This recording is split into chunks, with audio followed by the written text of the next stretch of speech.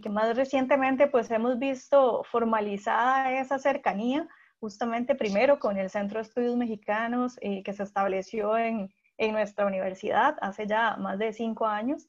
Y, y, y, recientemente, justo este año que iniciamos con la oficina de la Universidad de Costa Rica en la UNAM, eh, y este, este esfuerzo que estamos realizando hoy es justamente parte de esos resultados que, que tenemos y que, bueno, para ambas instituciones pues son, son eh, pues tan importantes.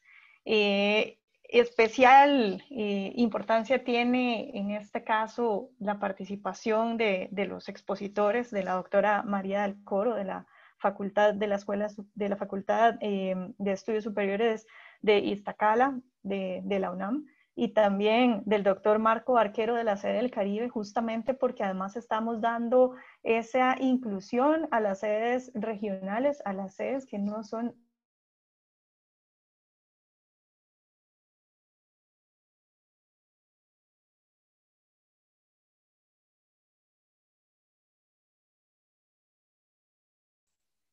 Disculpen, me sacó el, el internet.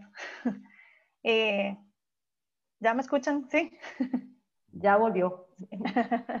Qué pena. Eh, estos, estos problemas de, de, técnicos, ¿verdad? En estos tiempos. Bueno, bueno, no quiero, no quiero eh, hacer más largo estas palabras, simplemente era eh, compartirles nuestra alegría de estar eh, formalizando, de estar concretando estas iniciativas y estoy segura que va a ser la primera de muchas más y, y bueno, muchos, muchos éxitos en el resto de las actividades y, y agradecerle a los, a, a nuestros, eh, a nuestros expositores del día de hoy. Muchas gracias. Muchas gracias, ingeniera de Lemos, por sus palabras. Ahora unas palabras de la coordinadora de la oficina de la Universidad de Costa Rica en la UNAM, la doctora Laura Otero Norza. Muchísimas gracias, César, y muchas gracias, este, Leonora. Yo de verdad eh, me uno a las palabras de ella y precisamente en esa labor de vinculación entre la Universidad de Costa Rica y la Universidad Nacional Autónoma de México, en conjunto con el Centro de Estudios Mexicanos que tenemos en, nuestra universidad, hemos querido organizar este seminario virtual entre las dos instituciones, el cual tendrá una conferencia por mes que intentaremos que sea de diversos temas entre las dos universidades para poder ir integrando eh, a la, las dos comunidades eh, universitarias en las diferentes disciplinas.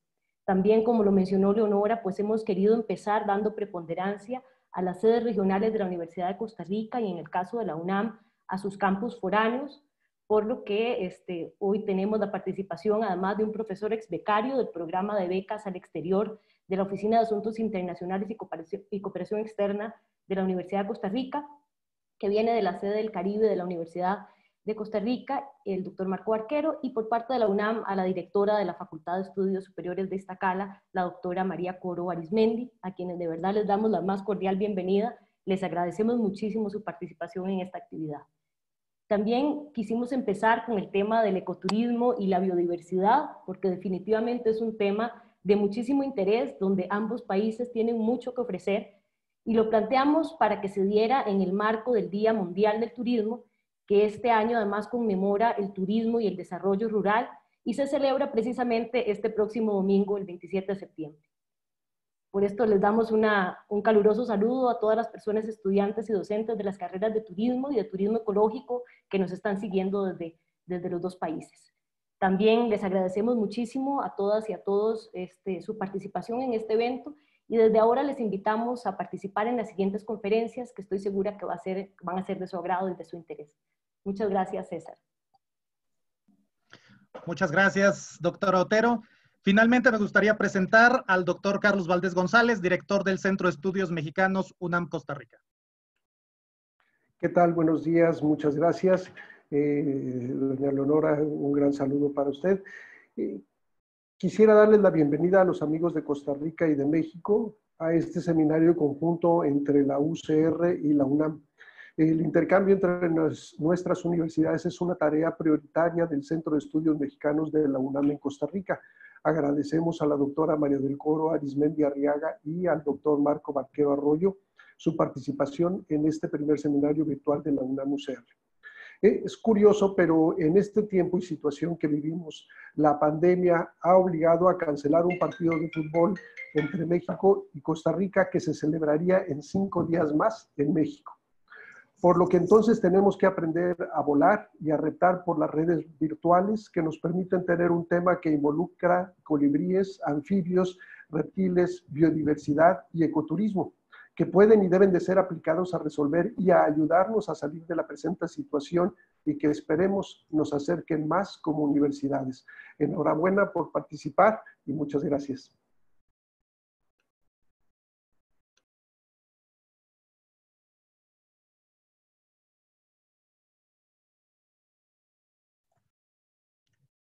Muchas gracias, doctor Valdés. Eh, les explico a todos, todas las personas que nos están viendo cómo será la, dinámica. Eh, tendremos la presentación por parte de nuestros dos investigadores invitados, el doctor Barquero Arroyo y la doctora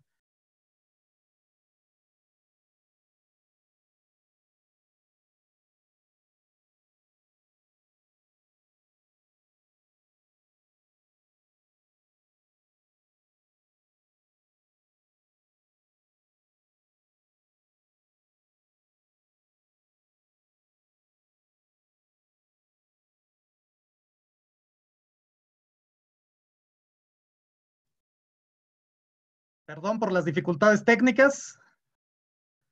Eh, les explico la dinámica de cómo será la sesión del día de hoy del seminario. Tendremos la participación de nuestros dos investigadores invitados por parte de la Universidad de Costa Rica, el doctor Barquero Arroyo, por parte de la Universidad Nacional Autónoma de México, la doctora María del Coro Arismendi.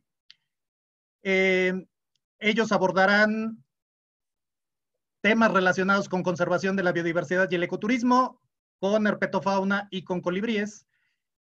Después de las dos presentaciones tendremos una, un tiempo dedicado a hacer lectura de preguntas y comentarios que todos pueden dejar en las dos plataformas desde las cuales nos pueden estar viendo, desde el Facebook Live de la Oficina de Asuntos Internacionales y Cooperación Externa de la UCR o desde el canal de YouTube del Centro de Estudios Mexicanos UNAM Costa Rica. Eh, sin más preámbulo, démosle la bienvenida al doctor Marco Barquero Arroyo con su plática titulada Conservación de la biodiversidad en Costa Rica, ecoturismo y la paradoja de la herpetofauna. Les voy a hacer, les voy a leer una pequeña semblanza del, del doctor Barquero Arroyo que es un herpetólogo costarricense con casi 20 años de experiencia trabajando con anfibios y reptiles.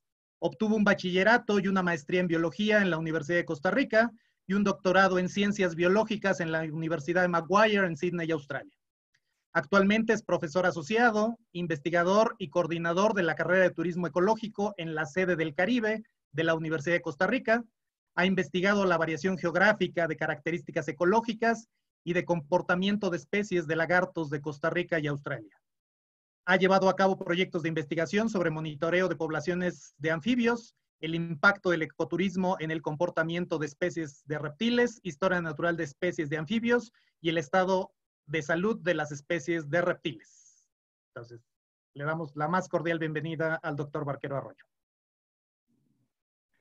Muchas gracias, César. Eh, Voy a proceder entonces a compartir pantalla con mi presentación, que espero sea del agrado de todos.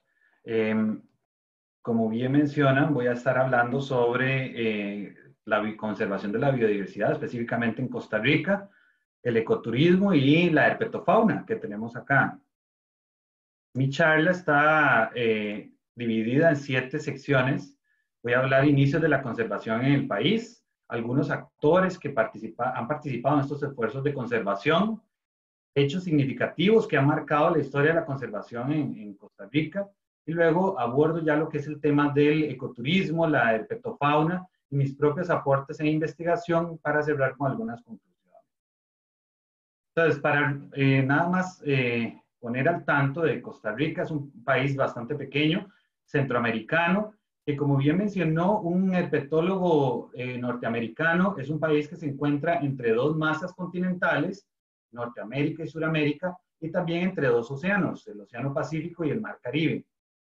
Cuenta con un eh, sistema montañoso que se orienta desde el noroeste hacia el sureste, y eso divide al país en dos eh, eh, vertientes claramente definidas, la vertiente Caribe y la vertiente Pacífica, y este, todas estas características hacen que tenga una gran variedad de ecosistemas, como son eh, reconocidas, por ejemplo, 12 zonas de vida según la clasificación de Leslie Holdridge.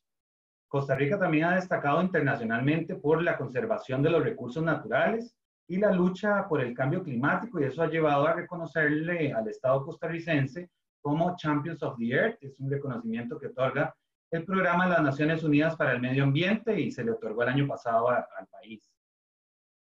Entonces, ¿qué hace que Costa Rica haya destacado en, eh, para entender esta situación en la actualidad, cómo es que ha destacado en la conservación?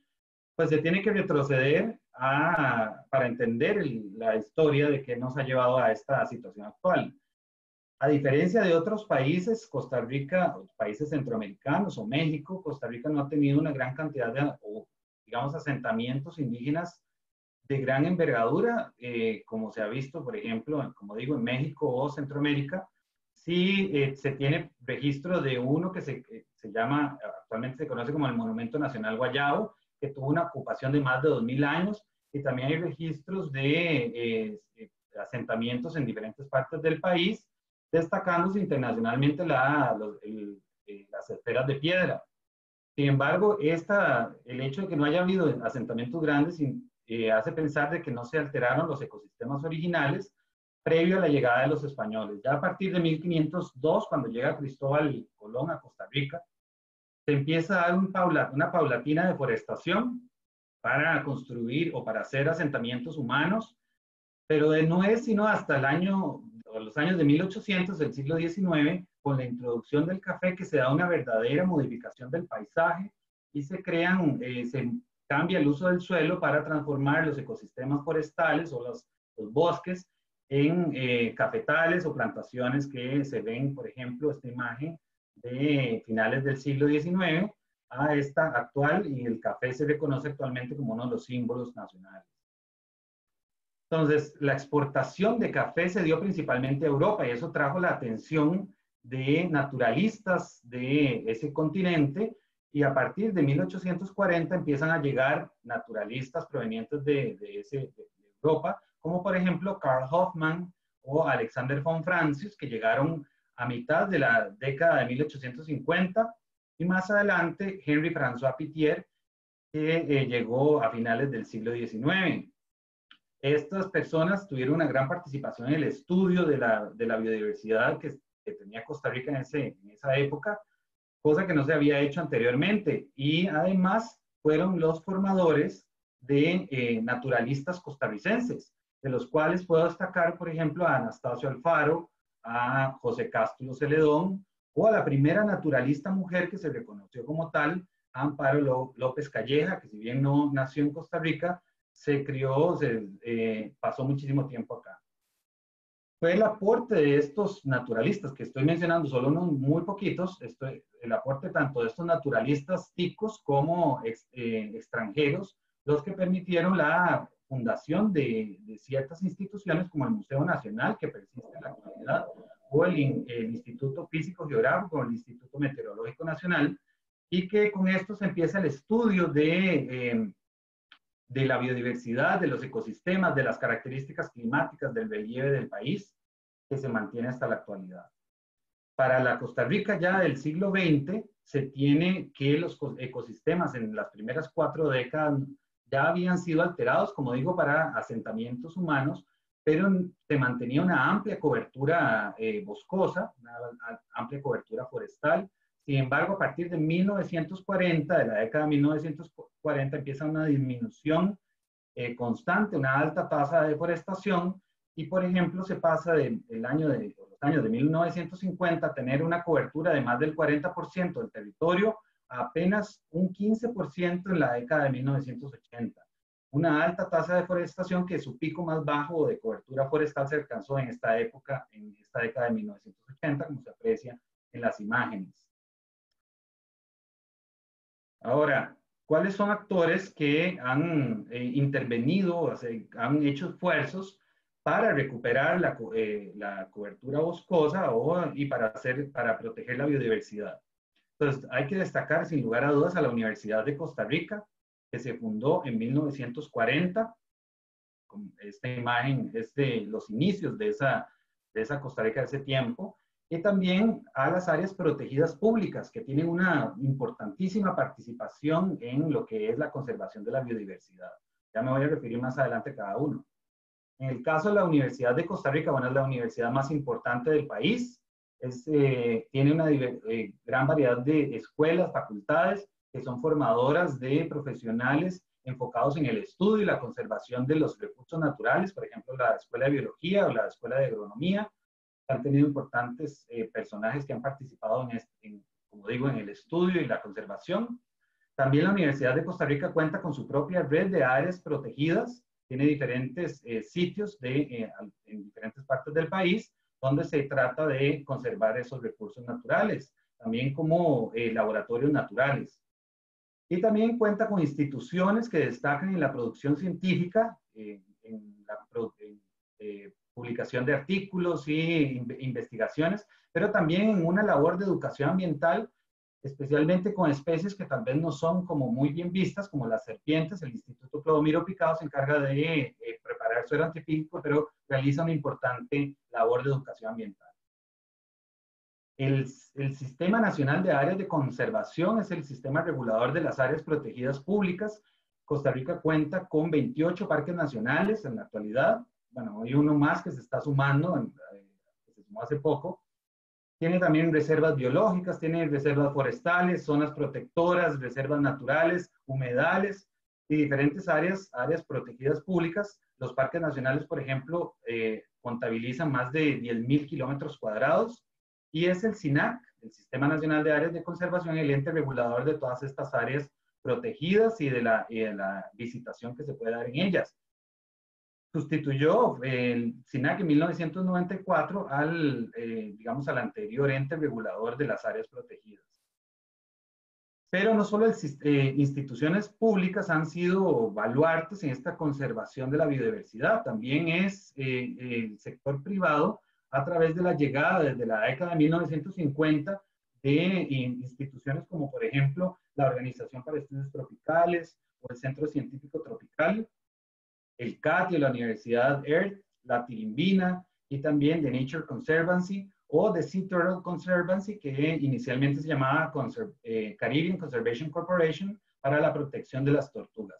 Todas estas eh, organizaciones tienen reservas propias y eh, se dedican también al estudio, a la protección de los recursos y al turismo haciendo una línea del tiempo para ver cuáles han sido hechos muy importantes en la conservación de la biodiversidad.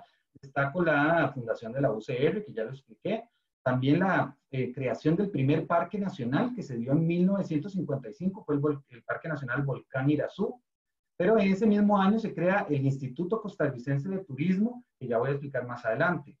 En 1970 aparece el sistema de parques nacionales como ente regulador que fue sustituido por el SINAC, que ya expliqué. Y en la década de los 80, cuando Costa Rica tenía su más baja eh, cobertura forestal, es cuando en el mundo se empieza a hablar sobre eh, desarrollo sostenible, aparece toda, este, toda esta terminología que no se había escuchado anteriormente, y Costa Rica desde ese mismo momento, desde esa misma época, adopta una estrategia nacional de conservación para el desarrollo sostenible llamó ECODES, y ya son los primeros esfuerzos orientados a la conservación. Además, destaco también la creación de, de, la carrera de turismo ecológico en la UCR en 1990 como formadora de profesionales para orientar hacia un turismo eh, sostenible en el país. En 1994 se ratifica el convenio de diversidad biológica. Dos años después aparece un incentivo estatal que también ha sido muy importante, que es el pago de servicios ambientales que se eh, otorga al sector privado, a personas del sector privado que tienen fincas para la protección de, ese, con bosque, fincas con bosque, con algún em, eh, valor hacia el ecosistema y eh, el Estado otorga un beneficio económico. para que no se dé el cambio de suelo.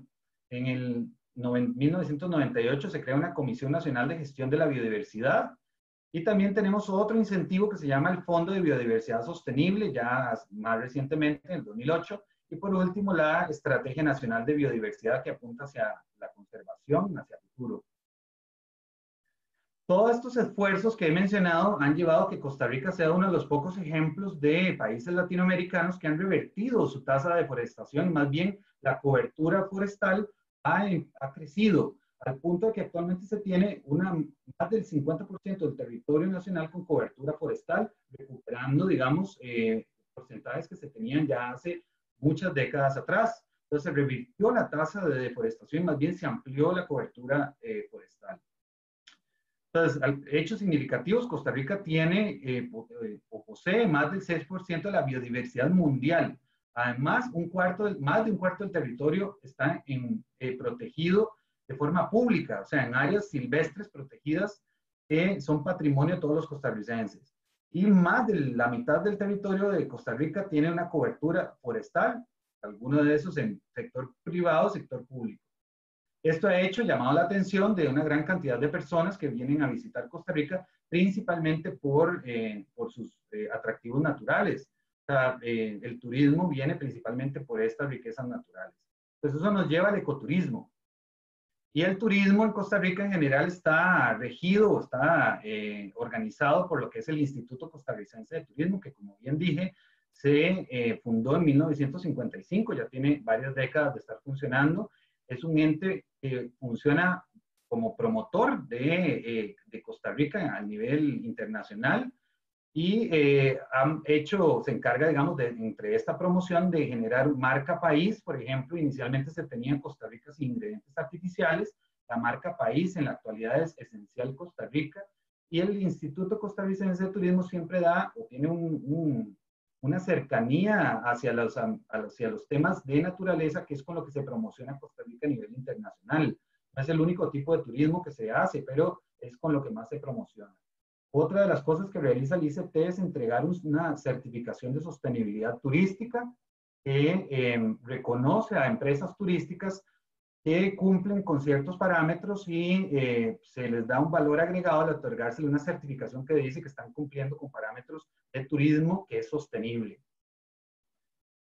Entonces, el turismo en Costa Rica definitivamente es una de las principales, la principal entrada de divisas recibimos a partir del 2017, se empezaron, ya se alcanzó la marca de 3 millones de visitantes, el, eh, perdón, 2018, y el año pasado se mantuvo, este año por la pandemia definitivamente ese número va a disminuir significativamente, pero eh, es muy interesante, digamos que en comparación con otros países, por ejemplo México, que recibe más de 40 millones de personas al año, a pesar de eso, Costa Rica tiene una entrada de divisas bastante significativas. Si tomamos todas las, todo el dinero gastado por los visitantes, por los turistas, y lo dividimos entre el número de visitantes, tenemos que en gasto medio por cada turista se tienen 1.400 dólares. O sea, cada persona gasta 1.400 dólares cuando viene al país. Mientras que, por ejemplo, en comparación con México, eso es casi el doble de, eh, de lo que gastan los turistas que, visitan México. Pues para Costa Rica representa una, una, entrada demasiado importante de divisas que se ha visto disminuida por este eh, COVID-19. Em, también, bueno, no solamente eh, es, bueno, y el hecho de que se dé este turismo enfocado hacia un turismo de naturaleza ha hecho que haya, aparezca una gran eh, oferta de diferentes empresas turísticas que desarrollan diferentes tipos de turismo. Sabemos que hay turismo basado en la naturaleza, turismo sol y playa, turismo, de, turismo rural o turismo de aventura, por ejemplo, para mencionar algunos. Y todas estas eh, organizaciones hacen diferentes tipos de turismo. Sin embargo, la, eh, todos estos o muchas de estas instituciones reconocidas con CST, con el Certificado de Sostenibilidad Turística, están enfocadas hacia un turismo sostenible. Y la mayoría de estas, de las que estoy mencionando acá, por ejemplo, esta oferta que se ve acá, eh, tienen sus propias reservas también para llevar a los turistas a que puedan disfrutar de las, los recursos naturales que cuenta el país. Esa, esa, oferta turística se encuentra por todo el país. Existen en la costa pacífica, en la costa caribe, en la montaña, en el sistema montañoso y se hacen diferentes actividades, como digo, puede ser turismo de aventura o otros tipos de turismo. Ahora, ¿cuáles son los impactos que generan esta cantidad de turistas? Bueno, al ser Costa Rica un país muy pequeño, pueden haber impactos muy significativos. Aunque sea eh, 3 millones de personas los que visitan el país, eso puede generar una gran cantidad de basura y el tratamiento, se tiene que buscar soluciones para un tratamiento adecuado de esos desechos sólidos. Eh, por ejemplo, si esta fuera una playa de anidación de tortugas, tendrían una alta repercusión sobre, sobre la biodiversidad. Además, el hecho de que los turistas y que la, eh, la, fauna y la flora estén muy empaquetadas en un territorio muy pequeño, permite que los visitantes se encuentren con mucha frecuencia con esos, con esos organismos. Entonces todos quieren tomarse fotos, pero se han, hay muchos estudios que incluso fotografías pueden alterar la conducta de los animales eh, y hacer que, sea, eh, que se den efectos negativos para ellos. Además, también hay, eh, los animales van aprendiendo que la visitación turística genera desechos y pueden ir a buscar esos, eh, digamos, restos de comida y alterar sus, patrones de alimentación. Al punto de que, bueno, no necesariamente es que los turistas dan alimento, pero ellos, los animales aprenden a buscar sitios donde los turistas llegan y dejan sus, eh, digamos, sus restos de comida. Y también cuando hay carreteras cerca de áreas naturales, áreas naturales, el paso de vehículos puede hacer que se den atropellos y muerte en carretera de diferentes organismos. Aunque algunos no son tan, digamos, no llaman tanto la atención como esta rana muerta no va a llamar la atención, como si fuera un mamífero que uno, uno puede visualizar más y que, llama más la atención. Ahora, efectos positivos que genera el turismo, aparte de las ganancias económicas que ya mencioné, es que, por ejemplo, la visitación turística y el hecho de que hayan, de que hayan personas caminando por los senderos, por las, por las áreas eh, eh, boscosas o por todos estos sitios naturales, impide que personas inescrupulosas que quieren llegar a extraer de forma ilegal la flora y la fauna no lo puedan hacer tan fácilmente. La presencia de los turistas es, eh, hace que haya más ojos viendo quienes están haciendo cosas ilegales. Y esto se ha visto, por ejemplo, en Madagascar la ausencia de turistas ha permitido que especies que se encuentran en peligro de extinción, como algunos lemures, se aventuren a áreas donde se encuentran más expuestos la extracción ilegal de diferentes eh, cazadores furtivos. También la presencia de turistas y el estar recorriendo senderos y estar visitando áreas, áreas naturales hace que se tengan más ojos encontrando diferentes animales. Y esta es una especie de, la, bueno, en Costa Rica les decimos lagartijas, sé que en México les dicen lagartos, una especie de lagartija que se encontró, de la cual había poquísimos registros hasta hace dos décadas atrás, pero por eh, diferentes eh, personas que han ido colaborando se amplió la cantidad de avistamientos de esta, de esta eh, especie y que ahora ya se tienen más, más registros de, esta, de este organismo. También, bueno, ya pasando al tema de lo que es la herpetofauna, eh, en Costa Rica. Y bueno, hay que mencionar que la herpetofauna está compuesta, para aquellos no, que no están muy al tanto de este grupo, está compuesta por anfibios y reptiles. Los anfibios, que son los que estoy mostrando acá, en Costa Rica contabilizan 215 especies de los tres órdenes conocidos, las ranas y los sapos, que son como todos estos de acá, o este de aquí.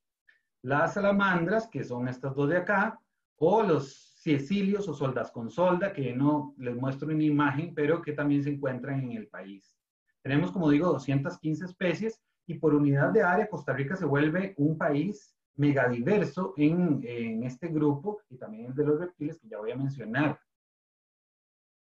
Entonces, Costa Rica tiene 245 eh, especies de reptiles, que entonces para el petofauna en su conjunto hacen más de 450 especies, y como digo, en un país que tiene apenas eh, 51.100 kilómetros cuadrados de terreno, eh, es, lo hace un país muy diverso y muy fácil de encontrarse muchas de estas especies en un eh, espacio muy reducido. Tenemos de reptiles tres de los cuatro órdenes que se reconocen a nivel mundial, las tortugas, los cocodrilos y los que se llaman escamosos, que incluyen las lagartijas y las serpientes. Solamente un orden que se encuentra en Nueva Zelanda no está representado en Costa Rica. Ahora, este grupo de anfibios y reptiles de herpetofauna eh, enfrenta problemas en la actualidad. Se reconoce que tanto los anfibios, de los cuales empezaron a hablar en 1900, eh, de la década de los 90, estaban teniendo disminuciones importantes a nivel global, pero más recientemente se reconoce que también los reptiles están enfrentando problemas de, eh, de extinción, peligro de extinción. Entonces, ambas, ambos grupos que tienen millones de millones de años de evolución y es de los primeros tetrápodos terrestres, grupo de vertebrados terrestres que aparecieron en el planeta, están en grave peligro de extinción. Ahora, esa, eh, eh, a pesar de esa importancia de los, de los anfibios y los reptiles, aún así existe una gran cantidad de desconocimiento. ¿Y por qué yo llamo paradoja de la herpetofauna? Bueno, la gente tiene un sentimiento de aversión, de odio, de repulsión, de miedo, y eso genera desconocimiento, ignorancia y genera efectos negativos sobre las especies. En Costa Rica se han analizado varias creencias, mitos que se tienen sobre eh, eh, tanto anfibios como reptiles, por ejemplo, que las serpientes persiguen a la gente, que las, algunas lagartijas o lagartos pican con la cola, que eh, hay un jugo de rana que puede curar desde un dolor de cabeza hasta el cáncer, y todos esos son mitos que la gente eh, mantiene, y no es, no es raro escuchar, por ejemplo, culebra buena es culebra muerta. Entonces hay una, un sentimiento de incluso de repulsión, de asco hacia muchas de estas especies, pero también de miedo y de odio. Entonces mucha gente las, los, los mata. Y esta percepción no es exclusiva de Costa Rica, se mantiene también en otras partes del mundo. Pero lo que llamo herpeto, eh, paradoja de la herpetofauna es porque si haciendo, bueno, una pequeña muestra acá, se ve que la gente que, que visita áreas, áreas silvestres cada vez está más interesada en, en realizar eh, eh, tours nocturnos justamente para ver anfibios y reptiles, por ejemplo. No solamente este grupo, pero, pero para ver especies como esta. Entonces, como una relación de amor y odio. Eh, les tengo miedo, los desconozco, pero a la vez quiero verlos, quiero tener una vivencia, una experiencia, estar en el bosque en la noche y encontrarme, no importa que me salgan estas especies que pueden ser peligrosas, algunas de ellas como esta serpiente venenosa. Entonces es una paradoja que se presenta. Ahora, en el caso de los aportes que yo he hecho de investigación, bueno, ya hay algunos resultados publicados con estas especies que se ven acá, principalmente mi grupo ha sido los reptiles, también tenemos esta especie que desarrollamos una investigación recientemente que esperamos tener un artículo publicado más eh, muy pronto, pero les voy a comentar de dos estudios principalmente que realicé en los últimos cinco años. Uno de ellos trata sobre el efecto de la visitación turística sobre las respuestas de comportamiento de, de aves y reptiles. Visité los sitios, los seis sitios que se ven acá. Este proyecto lo desarrollé con estudiantes en conjunto con estudiantes de la carrera de turismo ecológico de la, Universidad de Costa Rica. Y lo que obtuvimos o lo que hicimos fue acercarnos a una velocidad constante a animales que se encontraban en reposo, aves o reptiles, y medir la distancia en la cual el animal percibía ese acercamiento como una amenaza. En el momento que percibía eso, escapaba. Eso se le llama distancia de acercamiento. Además, registramos la visitación turística y nos dimos cuenta que en los sitios donde hay una altísima visitación turística, una, una mayor visitación turística, que es la línea punteada, se da una menor distancia de acercamiento. Eso quiere decir que las especies se han habituado a la presencia de los humanos, no los perciben como una amenaza y les permiten acercarse más. Y eso puede tener repercusiones en, por ejemplo, los cazadores furtivos, que podrían acercarse muy fácilmente a diferentes grupos de eh, organismos y poder, bueno, capturarlos más fácilmente. Estos resultados los hemos, publicado, los hemos dado a conocer en diferentes congresos, incluso uno en México, en Querétaro, que fueron mis asistentes, las estudiantes, que eran estudiantes de turismo de la carrera de turismo ecológico, ellas fueron a presentar estos resultados a, a Querétaro. También se ha presentado en otros sitios los resultados. El otro estudio es un estudio que, estoy, o que realicé en el campus de la sede del Caribe, que cuenta con un bosque eh, secundario en regeneración desde hace ya más de 40, de 40, años, y en el que estamos tratando de ver todas las especies de flora y fauna que están presentes para hacer ya un, un inventario lo más exacto posible. En este caso, eh, la metodología que seguimos fueron muestreos propios, o sea, también con colaboración de estudiantes de la carrera de turismo ecológico. Pero eh, lo interesante de este estudio es que también tuvimos la participación de la comunidad eh, universitaria. enviándonos o apoyándonos con fotos y videos, algo que se conoce como ciencia comunitaria o, participación eh, de, los, de los ciudadanos. Y hasta el momento hemos registrado una, digamos, de la ciudad de Limón, que es la ciudad más cercana, el 24% de las, de las especies de aves que se encuentran en ese sitio, en la ciudad de Limón, el, eh, cerca del 24%, casi el 40% de los reptiles y casi eh, más del 35% de los anfibios. De los mamíferos hemos registrado pocos porque no logramos hacer un, muestreo con murciélagos y, bueno, no hubo muchas fotos de parte de la comunidad universitaria de este grupo. Entonces, estos resultados también los presentamos en diferentes congresos, uno en un congreso europeo de herpetología en, Italia y un congreso también en México, en Mazatlán, que también fue el, uno de los estudiantes que participó como asistente de investigación, fue a presentar estos resultados allá. Y también, bueno, un congreso local de la Universidad de Costa Rica. Entonces, para ir eh, finalizando con algunas conclusiones, es importante mencionar que la conservación de la biodiversidad en Costa Rica ha implicado un esfuerzo muy importante que ya data de más de 60 años. Yo le pongo la fecha desde la creación de la primera área protegida pública, o sea, en 1955, y ese marca un hito en el país. O sea, el que aparezca esa primera área de conservación es muy importante. Eh, también, bueno, es eh, la declaración de, la, de áreas protegidas públicas a través del Estado, que, sea, que como digo, existen muchas áreas protegidas, más de 28, alrededor de 28 parques nacionales y otra multiplicidad de áreas silvestres protegidas públicas. Eso implica un esfuerzo estatal importante y que ha eh, preservado los ecosistemas que se, que se tienen ahí. Pero no solamente es el sector público, sino también es el sector privado y la vinculación de lo público y lo privado ha llevado un, un, un modelo exitoso de Costa Rica en la conservación de la biodiversidad. Es el, el, apoyo estatal a través de incentivos como el pago de servicios ambientales o del Fondo de Biodiversidad Sostenible que ha incentivado a que no se conviertan los terrenos que son boscosos en eh, áreas de cultivo o áreas de pastoreo y se mantengan en esos sitios y se puedan desarrollar actividades como el ecoturismo, que es una actividad económica sostenible, que, cuyos principios eh, incentivan a eh, la protección del ambiente y también al desarrollo social. Entonces, es de las actividades de turismo la que más está acorde con el desarrollo sostenible.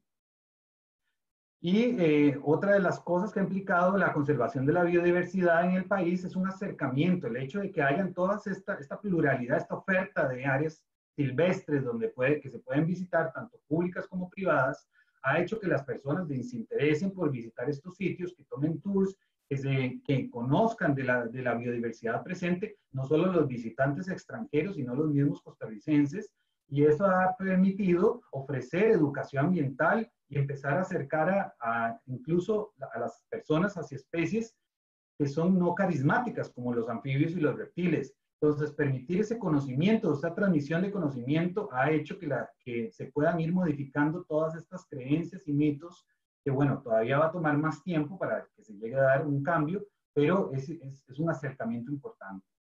Entonces, cierro mi participación con una pregunta es una pregunta que eh, dejo al aire para que cada uno, eh, con, base en lo que yo he dicho y la información que existe, pueda responder. ¿Es el modelo de conservación de Costa Rica replicable en otros sitios? Y bueno, yo lo respondo también. Para mí, por supuesto, que Costa Rica tiene ciertas particularidades que lo hacen eh, diferente en cierto sentido. Por ejemplo, un amigo peruano me decía es que parece que las especies estuvieran amarradas, porque usted camina 100 metros y se puede encontrar un montón de cosas. Y, sí, o sea, tenemos muchos, muchos organismos en muy poco terreno, moviéndose poquito se pueden encontrar muchas cosas. Pero el hecho de que se desarrollen actividades sostenibles como el ecoturismo y que se dé un énfasis, una, una vinculación público-privada, eso se puede realizar en cualquier lado. Entonces, para mí el modelo de conservación es replicable y ya se está haciendo en otros sitios, sin lugar a dudas, solo que se necesita más todavía.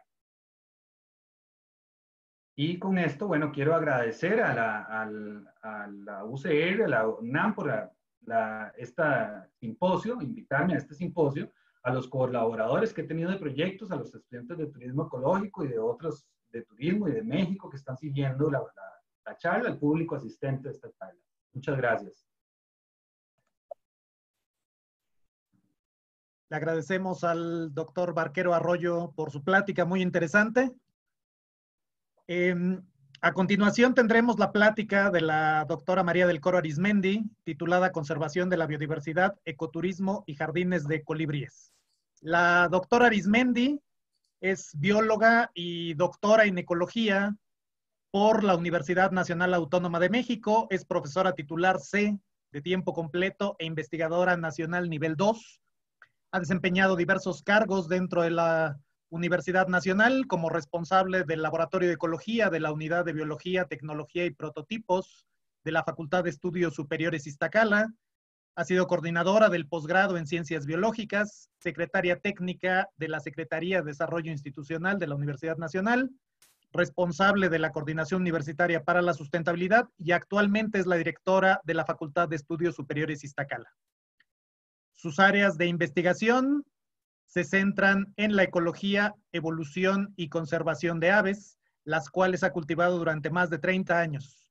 Con fines de divulgación científica, implementó el proyecto de jardines de colibríes, cuyo propósito es que los ciudadanos participen en labores de restauración del hábitat en ciudades y actualmente cuenta con una red de más de 90 jardines tan solo en la Ciudad de México. Ha sido reconocida con varios premios y reconocimientos, entre los que destacan el reconocimiento Sor Juana Inés de la Cruz, así como el premio al mérito académico, ambos otorgados por la UNAM en 2018. le agradecemos a la doctora María del Coro Arismendi y la dejamos con su plática. Bueno, buenos días. Muchas gracias por haberme invitado a dar esta charla en el Centro de Estudios Mexicanos Costa Rica. A mí, la verdad es que Costa Rica, su diversidad y sus modelos de conservación me parecen maravillosos. He ido muchas veces a Costa Rica y podría ir más, porque realmente es un lugar maravilloso para estudiar biología y para hacer conservación, sin lugar a dudas. Pero bueno, hoy les voy a platicar lo que yo he venido haciendo y les voy a hablar un poquito de la de cómo los colibríes eh, pueden ayudar a conservar la biodiversidad en mi muy particular punto de, punto de vista. Eh, bueno, en México eh, tenemos 58 especies de las 330 especies de colibríes que hay en, que hay en México. tenemos 13 especies que solamente están en México y tenemos nueve especies que están sujetas a protección según las leyes mexicanas. Es una diversidad grande la que tenemos de colibríes, no comparada con la de Costa Rica, que es muchísimo más grande, pero tenemos particularidades que hacen de México un país muy interesante para estudiar a este grupo de animales. Los colibríes, como todos los otros componentes de la biodiversidad, tienen cierta problemática para conservación eh, que les voy a tratar de resumir muy, muy rápidamente en esta plática. Su mayor amenaza en el país es la fragmentación y la pérdida de hábitat, de sus dos tipos de hábitat que necesitan, el reproductivo y el alimenticio. En México cada día más crecen los ambientes urbanos y cada día más las personas eh, se, se, acercan a las ciudades como forma de sobrevivencia. Entonces está siendo un país más urbano que rural, aunque todavía tenemos grandes extensiones de, de, de selvas y bosques conservados. Entonces, esta, pero esta fragmentación que estamos haciendo de nuestros ambientes naturales tiene un efecto, puede tener un efecto sobre los colibríes. la conservación de sus hábitats reproductivos en bosques y selvas naturales es muy importante, pero también es muy importante conservar el hábitat alimenticio. ¿A qué me, debo, a qué me refiero a esto? Los colibríes comen néctar, comen néctar que obtienen de las flores, entonces necesitamos tener estos corredores de flores que estén eh, que no sean interrumpidos y que no sean fragmentados. Esta es eh, México y tenemos en la parte, en, la parte en, en, estos colores de arriba, los colores de vegetación natural. Y una cosa que alarma bastante es que los colores que tenemos aquí abajo son los usos de suelo que implican transformación por el humano y el rojo es el uso de suelo agropecuario. Y ustedes ven que mucho del país está siendo convertido hacia fines agropecuarios. mucho, muchas zonas se están convirtiendo a, con fines agrícolas o con fines de plantaciones forestales y tenemos también muchas zonas urbanas. Todavía tenemos vegetación natural, todo lo verde, toda la parte café son zonas áridas y semiáridas que predominan en el, en el país. Entonces todavía tenemos eh, grandes áreas de conservación, pero en general nuestros paisajes empiezan a verse como un mosaico de, tierras fragmentadas y unas grandes áreas dedicadas a la agricultura. ¿Cómo hacer entonces para conservar a un grupo tan bonito y emblemático como los colibríes en el país? Bueno, el sistema, igual que en Costa Rica, el sistema de áreas naturales protegidas es el primer, el principal sistema en el país para conservar la vegetación natural. Eh, tenemos áreas naturales protegidas y tenemos otra categoría que se llama NAICAS, que no son áreas naturales protegidas, es decir, que no tienen protección gubernamental, pero que los ornitólogos de este país hemos designado como áreas que para nosotros son importantes para conservar a las aves. Este ejercicio de denominar eh, áreas importantes para la conservación de las aves se hizo por ahí del, del año 2000 y ha ganado mucha aceptación incluso en el gobierno, que ahora ya tiene en sus, en sus sistemas las áreas naturales protegidas y las, las AICAS o IVAS incluso mapeadas y en sistemas de información geográfica. Entonces, lo que hicimos para determinar qué, tanto, qué tantos problemas de conservación de hábitat natural tienen los colibríes en México es hacer un análisis de complementariedad para ver cuál era el conjunto mínimo de sitios que se requiere para conservar al menos una población de todas las 58 especies de colibríes. Y lo que nos resultó fue un conjunto de ocho sitios que son eh, seis eh, áreas naturales protegidas, que son estas que están aquí arriba, que son las más grandes, con muchas especies de aves y con muchas especies de colibríes. Pero para conservar a las 58 especies de colibríes tuvimos que adicionar estos tres sitios que no tienen protección formal, pero que sin ellos nos quedamos sin algunas especies de colibríes que son importantes para México. ¿Cuáles son estas? El colibrí más endémico de México, la coqueta de Atoyac, Lophornis brachylopus, que solamente se encuentra en la sierra de Atoyac, en un área de 40 kilómetros cuadrados. Es un colibrí eh, altamente restringido y cualquier modificación en su hábitat va a tener efectos devastadores en su, en su conservación, que está junto a esta otra especie también endémica, Euferusa poliocerca, que coexisten en los mismos sitios que no tienen ningún tipo de protección y que tienen grandes problemas de conservación que van en todos los eh, ámbitos. Tienen problemas porque ha habido guerrilla en, en, la zona, ha habido narcotráfico, ha habido cultivos, otros cultivos ilegales, ahora hay incursiones de todo tipo de policía, de ejército, y esto hace que estemos preocupados por la conservación de, de esta especie sobre todo de estas dos especies. Una sierra que está junto a la anterior, que es la sierra de, de Miahuatlán, también tiene una especie de colibrí endémica del país que solamente está allí y que si no la conservamos eh, no vamos a tener éxito en conservar a todos los colibríes y lo peor es que no vamos a poder conservar a nuestros colibríes endémicos de México. Eh, en esta área natural protegida en Cozumel, en la isla de Cozumel, Ustedes saben, aquí el turismo es un, eh, es un detonante grande de, de, actividad económica en esta zona y la isla de Cozumel está decretada como un área natural protegida, pero en su parte marítima. Toda la parte terrestre de manglares no es, no es un área natural protegida, sí es un área de importancia para la conservación de las aves y tenemos a esta especie de colibrí que solamente se encuentra en este sitio y que si no eh, incluimos estas regiones terrestres de la isla Cozumel, no lo vamos a poder conservar. Entonces, eh, como conclusiones de este estudio que se publicó en 2016, es que el sistema de áreas naturales protegidas no es suficiente para conservar a las 58 especies de colibríes de México. Necesitamos al menos proteger tres áreas más y si queremos proteger poblaciones eh, grandes de las especies, necesitaríamos adicionar muchas otras áreas. Esto nada más es, acuérdense, para proteger una población al menos de cada una de las 58 especies de colibríes. Eh, una cosa que tienen en común las áreas naturales protegidas que están incluidas en este conjunto es que incluyen un gradiente altitudinal, es decir, que van desde zonas bajas hasta zonas altas. Y esto ayuda mucho a la conservación de muchas especies de colibríes, porque los colibríes se mueven mucho buscando su recurso, buscando las flores de las que se alimentan. Entonces, los gradientes altitudinales siempre tienen conjuntos grandes de, especies y son lugares muy importantes para la conservación. ¿Qué es necesario además de conservar estos estas áreas naturales en buen estado? Bueno, eh, hacer esfuerzos para hacer educación ambiental entre la población y hacer sensibilización. Mm, ah.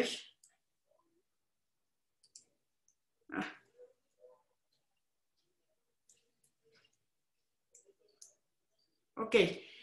Y otra cosa es que los, eh, el país está creciendo en ambientes urbanos. Y aquí les puse una pintura de José María Velasco que se hizo más o menos por ahí del, de 1900, en donde se ve cómo se vería la, la ciudad, más o menos del mismo ángulo, un poquito más lejos que lo que la vemos hoy. Y para que vean ustedes cómo ha crecido la ciudad, cómo hemos acabado con los lagos y hemos, eh, digamos que pavimentado todo lo que se tenía que lo posible de pavimentar y hemos hecho casas en todos lados. Y entonces, pues evidentemente esto, y esto es un periodo de 100 años, que tampoco es un periodo tan grande de tiempo como para un cambio tan grande, pero lo que es cierto es que está desapareciendo las plantas de las cuales los colibríes se podían alimentar. Quedan pocos parques, aunque sí es una ciudad que tiene bastante, bastante, bastantes áreas verdes, como se ve aquí atrás, pero realmente lo que predomina, y ustedes lo pueden ver claramente, son edificios. Y entonces, bueno, ¿cómo podremos conservar a estos colibríes que además tienen el problema de la urbanización? ¿Cómo conservarlos en un país que se urbaniza? Entonces, una cosa que sabemos, a diferencia de los reptiles y los anfibios, es que la gente, toda la gente adora a los colibríes. Nadie todavía me ha dicho qué asco cuando ve un colibrí o un colibrí muerto es el mejor colibrí. Todavía nadie me ha dicho nada así.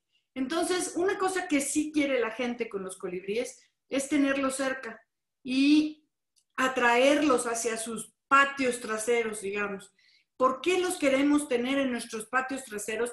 Porque en muchas de nuestras culturas eh, mesoamericanas están asociados con cosas buenas, están asociados con el amor, con el transporte de los pensamientos entre un ser humano y otro, incluso con el transporte de los pensamientos entre los seres eh, humanos que hemos perdido, que han fallecido, y que hay leyendas que dicen que los colibríes eh, son los agentes que nos traen estos pensamientos del otro mundo hacia este mundo en donde nosotros vivimos.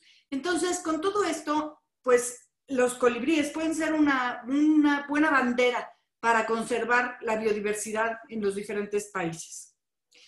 Eh, una cosa que, se ha hecho mucho en las ciudades, y no tanto de México hacia abajo, sino como de México hacia arriba, hacia Norteamérica, eh, es utilizar bebederos artificiales para poner en los patios de las casas y atraer a los colibríes.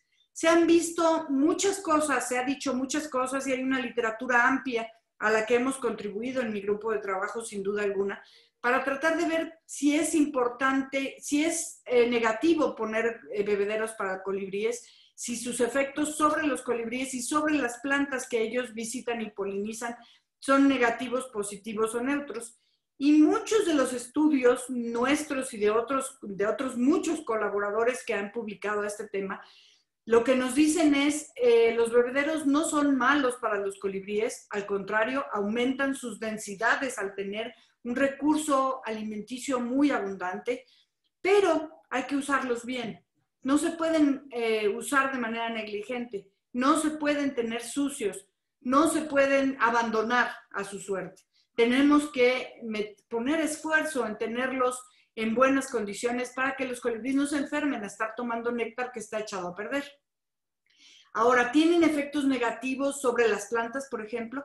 Pues de eso yo tengo, yo tengo bastante certeza de que si los bebederos se usan en áreas naturales protegidas, en sitios donde la vegetación natural es lo que predomina, puede tener efectos negativos porque podemos estar atrayendo una gran cantidad de colibríes a los bebederos y, es, y dejar a las plantas que estén en las, en las zonas eh, cercanas a estos bebederos sin las visitas de los colibríes. Aunque, he de decirlo, han salido artículos recientes que dicen que no es cierto que en las vecindades de los bebederos las plantas reciben más visitas. Y esto puede ser, y les voy a decir por qué.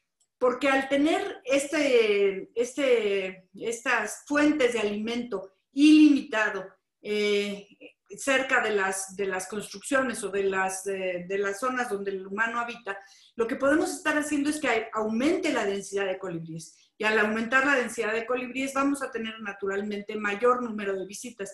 Entonces es un proceso que no es simple, que no se puede contestar con una sola respuesta, pero que en general lo que se está diciendo es que no tienen efectos negativos si son bien usados y sobre todo si son usados en condiciones urbanizadas, es decir, en ciudades en donde ya hemos hecho que desaparezcan las plantas que, teníamos de manera natural en estas ciudades. ¿Cuál alternativa tendríamos para no tener este conflicto moral de si estamos usando bien o estamos usando mal los bebederos? Bueno, sin duda alguna es plantar jardines para colibríes. Y en estos jardines para colibríes se puede hacer ecoturismo o aviturismo, como se ha nombrado también. ¿Qué es un jardín para colibríes? Pues es un sitio diseñado por el hombre en donde tengamos alimento para los colibríes durante todo el año, en donde tengamos agua si es posible para ellos y sitios de refugio para que puedan descansar mientras no se alimentan. ¿Qué necesitamos? Pues un pedacito de jardín que puede ir de, de un pedazo de tierra pequeño o de tamaño moderado a un, a un gran jardín o simplemente un balcón en donde pongamos una maceta. Y los colibríes van a venir y van a estarse alimentando si las flores que nosotros usamos son las flores que ellos eh, prefieren, que son como estas que vemos en esta foto, flores largas, tubulares, que tengan colores llamativos, en donde pueda llegar el colibrí, introducir su pico y alimentarse del néctar que está produciendo. ¿Para qué usar o por qué usar eh, los, eh, los, jardines en zonas urbanas? Y aquí tenemos pues dos ejemplos en un balcón y en, y en otro y en una terraza en donde tenemos flores de colibríes que visitan los colibríes de manera, de manera cotidiana. Están en condiciones de, de jardines pequeños y en estas condiciones nosotros estamos restituyendo un poco del hábitat que nosotros mismos ya eh, destruimos para hacer nuestras casas y nuestros asentamientos humanos. Es una manera de hacer restauración urbana y de tener además a estos animales cerca sin tenerlos en una jaula. Los colibríes no viven en jaulas, entonces, aunque sean amuletos para la buena suerte, aunque simbolicen el amor, si nosotros los ponemos en jaulas se mueren, no pueden sobrevivir en condiciones de cautiverio. Pero si nosotros tenemos buenas condiciones en nuestros balcones, en nuestros jardines, los colibríes van a venir a nosotros y con un esfuerzo bastante mínimo vamos a poder disfrutar de su visita y de todos sus buenos augurios alrededor.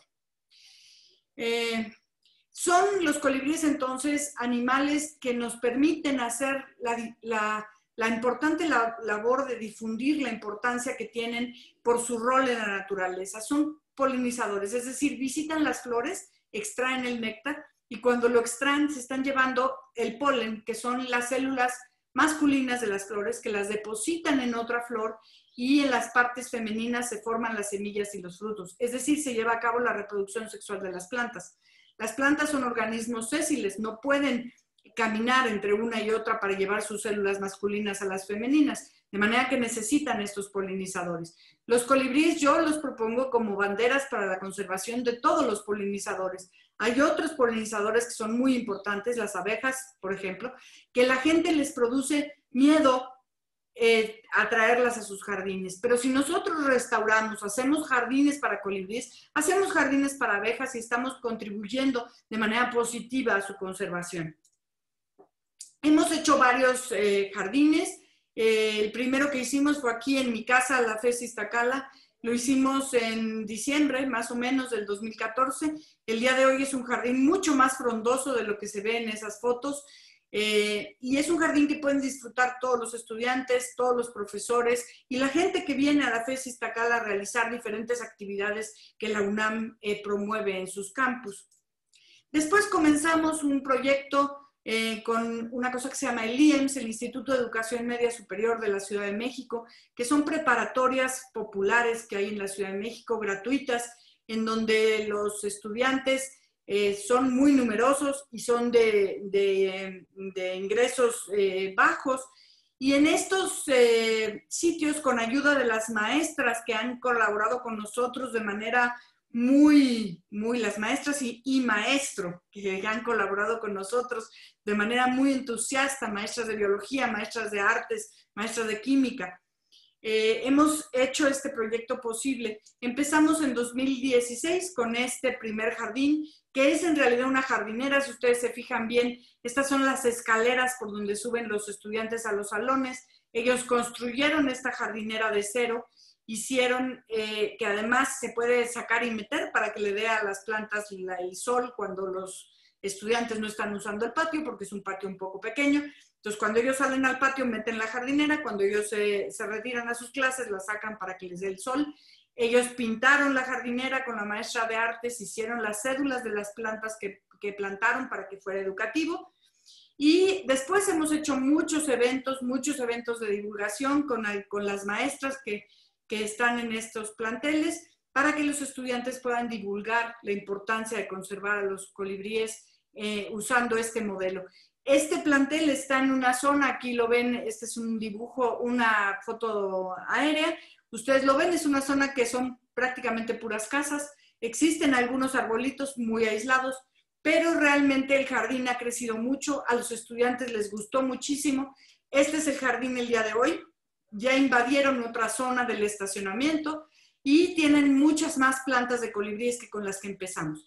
Incluso en este plantel se está llevando a cabo una cosa que se llama colibriterapia, que esto es que llevan a los muchachos que tienen algún problema, incluso a los grupos vulnerables que viven cerca, los llevan al, jardín y los hacen dibujar el jardín y a través de este contacto con la naturaleza ellos pueden sacar muchos de los problemas que pueden tener o que han sufrido durante su vida eh, alrededor de, de, estas zonas. Y parece que está dando muy, buena, muy, buenos resultados. Está trabajando un, psiquiatra, un psicólogo cerca de, los estudiantes y está resultando muy bien. Hicimos jardines también en este otro, en el IEMS 1 Tlalpan, que como ustedes pueden ver es un poco más grande, tiene un poco más de áreas verdes. Eh, los estudiantes de licenciatura, como Gaby, que está aquí en el centro, que es estudiante mía de licenciatura, se encargó de este jardín y junto con los estudiantes del bachillerato y las maestras y maestros plantaron las plantas y las han venido cuidando hasta, hasta el día de hoy. Eh, tienen un jardín mucho más grande en donde se han hecho observaciones de quién llega, cómo se coloniza este jardín y se han hecho labores importantes de cuidado a las plantas en las que participan todos los, los habitantes de esta, de esta escuela. El IEMS eh, Iztacalco, situado en una zona donde ustedes ven, van a decir que cada vez voy a una donde hay menos árboles, pero bueno, han sido cuestiones este, fortuitas. Está eh, rodeado de naves industriales, de calles, de casas. Y aquí también establecimos en los techos y en las orillitas del plantel un jardín de, colibríes y llegan ya bastantes especies de colibríes a visitar las plantas. No sé después de esta pandemia cómo les ha ido a nuestros jardines, pero esperamos encontrar algo y poderlos restaurar cuando terminemos esta situación tan complicada. Aquí están los estudiantes, se han unido estudiantes de un plantel con otros, aquí ven estudiantes, profesores e incluso padres de familia que se han unido a este proyecto porque a todo el mundo le gusta esto de tener colibríes cerca. Trabajamos con un jardín de niños, eh, con los papás de, estos niños en el, jardín de niños. Los llevamos a una estación que tenemos para monitorear a los colibríes en este lugar que es un, es una es un lago eh, restaurado que tiene la UNAM en el campus sur. Aquí tenemos una estación de monitoreo donde estamos capturando colibríes y viendo su condición a lo largo de los meses y de los años. Y llevamos a veces grupos para que vean a los colibríes y para que puedan sobre todo verlos de cerca eh, y entender qué es un colibrí, soltarlos, lo cual es una experiencia de vida para los estudiantes. Pero también me aboqué a visitar los asilos de ancianos. Visité unas, un asilo de ancianas, de 12, eh, viven 22 ancianas en este asilo. Y aquí pusimos bebederos de colibríes. ¿Y por qué pusimos bebederos? Porque en esta edad las, las señoras ya no tienen una vista así de águila. Entonces, si los ponemos lejos de donde ellas están, pues no alcanzan a ver al colibrí. Entonces, cada, cada una eh, compró un bebedero y los pusimos justamente donde ellas pueden estarlos viendo. Y los colibríes verdaderamente llegan mucho y, les, y las hacen muy felices. He ido a platicar con ellas, les he ido a contar qué es un colibrí, cómo viven y realmente eh, ellas se sientan a tejer o a tomar café y a diferencia de los niños chiquitos no corren, no saltan y entonces los colibríes pueden estar con ellas como muy cercanamente y ellas pueden disfrutar de la magia de ver un colibrí volando de manera muy, muy fácil. En los eh, retiros para ancianos estamos trabajando durante este año y el año siguiente con un grupo de rotarios de la Ciudad de México y de las áreas conurbadas y vamos a dotar otros asilos para ancianos de eh, bebederos y de plantas para colibríes para que puedan disfrutar estas personas que ya le dieron todo al país de la magia de ver volar a los colibríes. Tenemos algunos ejemplos de, restaurantes, por ejemplo, de jardines botánicos como este que tenemos aquí, que está en Puerto Vallarta, en Jalisco, en donde ponen algún tipo de facilidad para que la gente se pueda sentar y ver a los colibríes. Aquí a lo lejos se ve el bebedero de colibríes, eh, la gente se sienta en esta sala y puede disfrutar mediante unos binoculares, porque si no están muy cerca y eso está bien, los bebederos ah, para de la presencia de los colibríes. En Latinoamérica y en Costa Rica en especial, hay muchos sitios en donde se pueden ver colibríes de manera muy cercana, incluso hay algunos en donde se puede poner un bebedero en la mano y llegan los colibríes. Y bueno, yo creo que hay que tener un poco de cuidado con el uso de estas cosas, pero si lo sabemos manejar bien y si hacemos eh, turismo de bajo impacto y sustentable, podrían ser, podríamos utilizarlo muy bien como herramienta para la conservación. Eh, el objetivo principal del ecoturismo es eh, impulsar la conservación y también elevar los niveles de vida de los pobladores locales mediante prácticas que no sean invasivas. Pero siempre, como decía mi antecesor, hay que cuidar mucho que, el, ir por los senderos no haga que, que se estropee todo lo que vaya alrededor, porque esa es nuestra nuestra mayor mal de la, especie humana, que vamos dejando basura, que no nos importa y que pensamos que somos la parte más alta de todas las cadenas y por esta razón eh, podemos acabar con todo.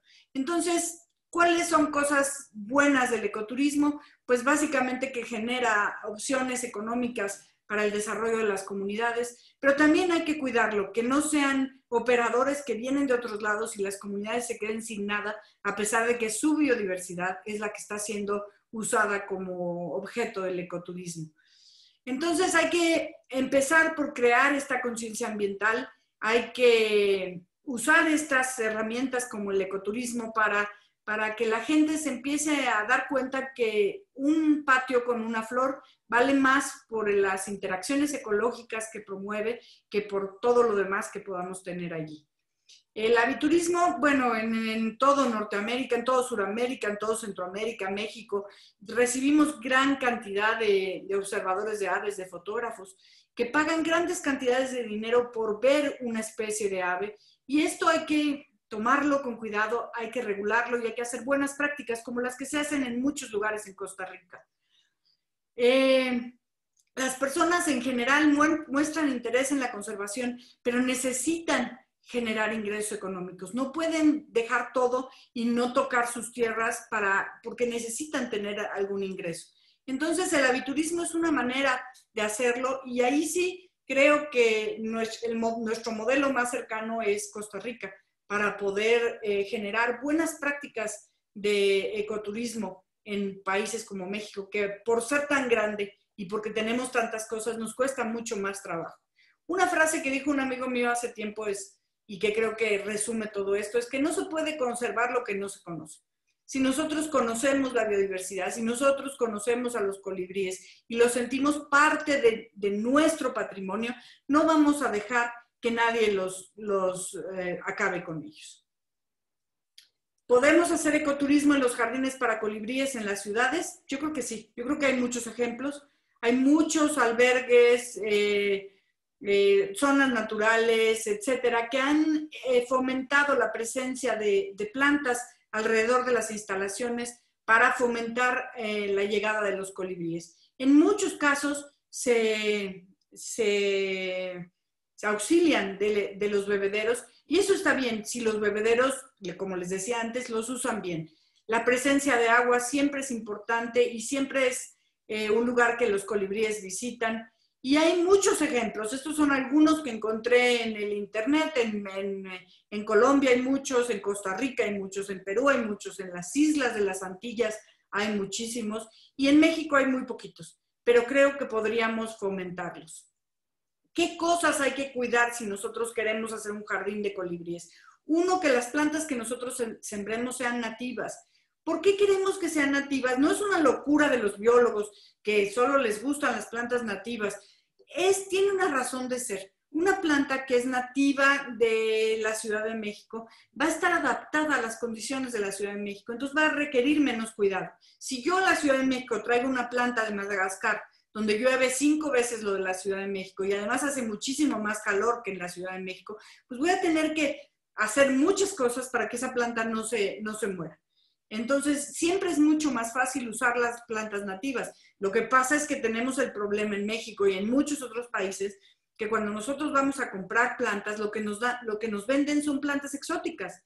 Pero bueno, eso hay que, hay que fomentar la, la compra de plantas nativas y que la gente, en lugar de sembrar plantas exóticas, siembre estas plantas nativas que son benéficas para los colibríes y para otros polinizadores y que podamos poner en nuestros jardines. Esta es una campaña que hemos venido haciendo los últimos años y creo que ahora en la Ciudad de México, al menos en Puebla, en algunas ciudades grandes ya tenemos una oferta importante de plantas nativas para jardines de polinizadores que se pueden comprar.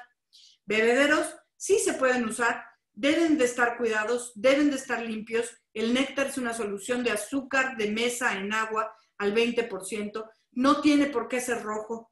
Eh, cuando el néctar es rojo es una señal clara de que le pusieron un colorante.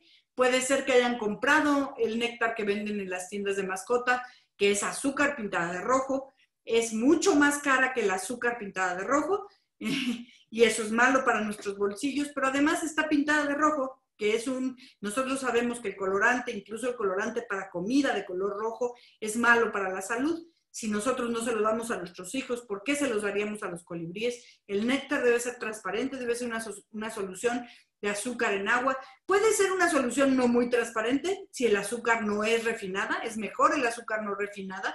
Como ustedes vieron, los bebederos en, la, en las casas de los ancianos eran medios cafés, porque el azúcar que ellas usaron fue azúcar no refinada, azúcar mascabado incluso, que son azúcares menos eh, tratadas químicamente. Eso funciona bien, es sacarosa al final, que es el azúcar que prefieren los colibríes.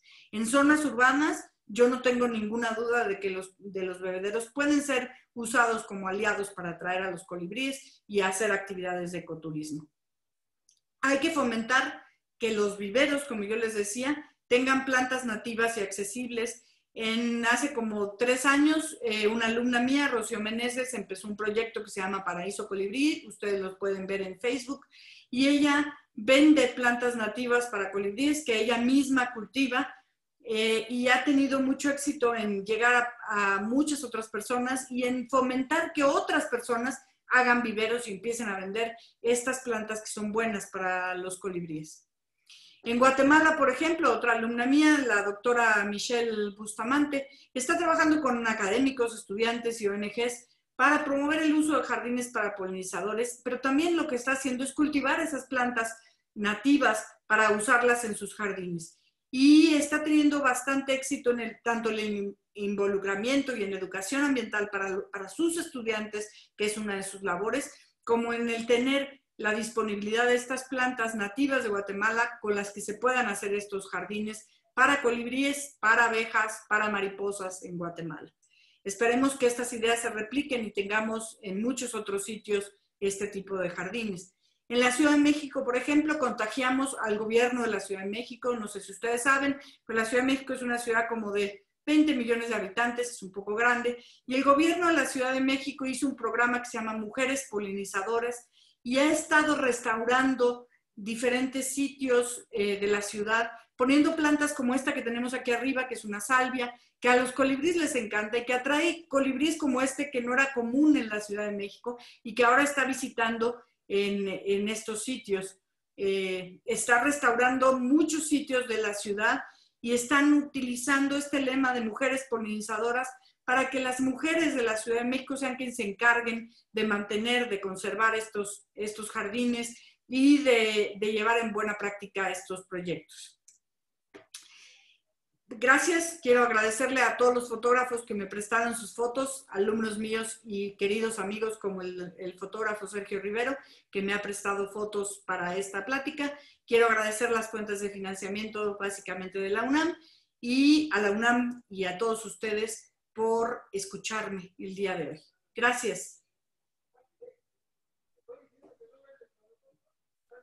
Le agradecemos a la doctora María del Coro Arismendi por su plática. Ambas pláticas muy interesantes por parte de nuestros investigadores invitados.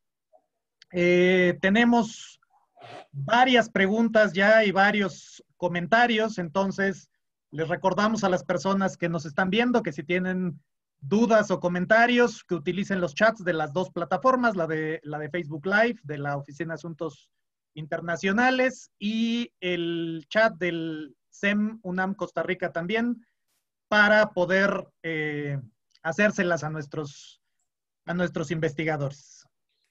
Entonces, a ver, hay, hay varios saludos, les voy, les voy a empezar a, a pasar algunas de ellas. Hay, hay saludos para, para nuestros dos investigadores, hay saludos desde varias partes de México y de Costa Rica, este, varios saludos de, Guadalajara, o de la Universidad de Guadalajara, perdón, de Jalisco en general, este, saludos de Limón en Costa Rica, de Grecia en Costa Rica. Eh, a ver, hay una pregunta para el, para el doctor Barquero. Y dice, en cuanto a su estudio sobre la visitación turística en los sitios turísticos, ¿cuál sería su opinión en cuanto al nivel de afectación de la población de reptiles en el país durante este periodo de la pandemia? Y si la reactivación económica podría tener algún nivel en la afectación para estas especies. Eh, bueno, sin lugar a dudas, la pandemia ha hecho que se reduzca la visitación turística, ¿verdad? Se ha ido dando una reapertura paulatina. Todavía no se ha, hasta donde yo sé, no se ha generado evidencia empírica a base de experimentación que permita determinar con seguridad los efectos que puede tener la disminución de eh, la visitación turística en diferentes áreas. Sin embargo, ya se puede especular ciertos efectos sobre eh, el hecho de que se haya em, reducido esta visitación. Eh, por ejemplo, muchas especies empezaron a tener mayor movilidad, a utilizar más partes del hábitat y eso se puede extender no solamente a los reptiles, sino a diferentes especies. Los reptiles incluidos también pueden empezar a, movilizarse más. Em, hay proyectos que han intentado determinar, digamos, esta mayor movilidad, como avistamientos. En, aquí en Costa Rica hay un proyecto de la Universidad Nacional que buscaba la participación ciudadana también eh, haciendo, digamos, eh, si habían detectado eh, especies que anteriormente no veían comúnmente, aunque normalmente pues los reportes pues, pueden ser como de aves o mamíferos, que es como lo que más atrae a, la gente.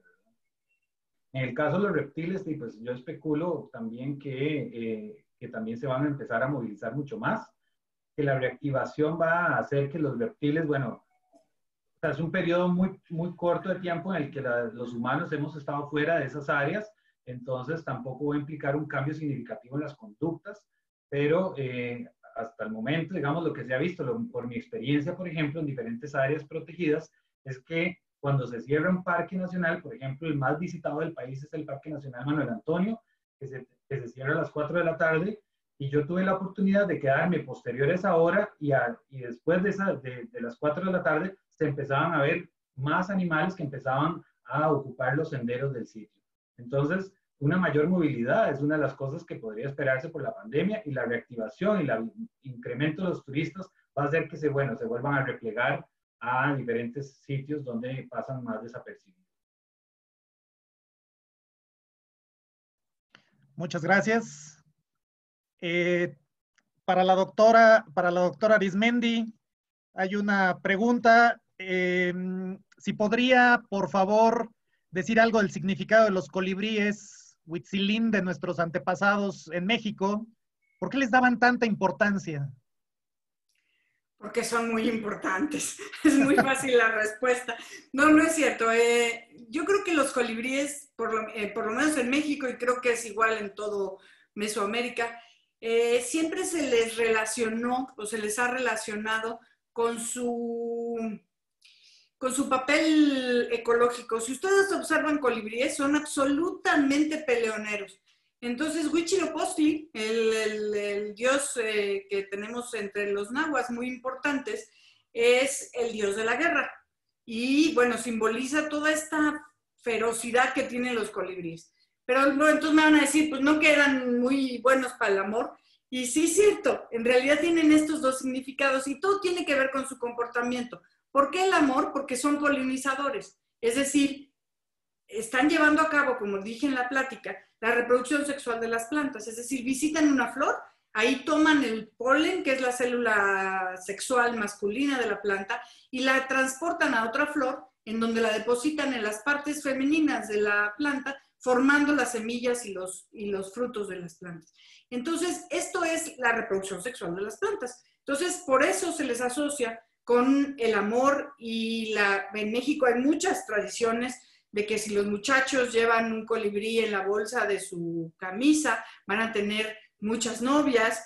Yo siempre les he dicho que pues no creo, ¿no? Porque si uno como mujer ve que el novio tiene en la camisa de la, de, en la, bolsa de su camisa un colibrí momificado, va a salir corriendo horrorizada, porque realmente muertos y momificados son bastante feos, no son bonitos, son bonitos vivos y volando, pero, pero toda esta simbología alrededor del amor viene de esa, de esa asociación.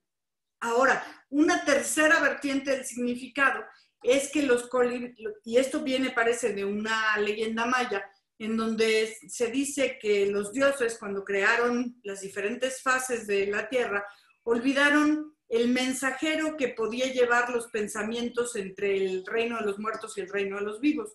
Y eh, tenían una piedra de jade, eh, soplaron en la piedra de jade y salió el colibrí. Y el colibrí entonces es el encargado de llevar los pensamientos del reino de los muertos al reino de los vivos.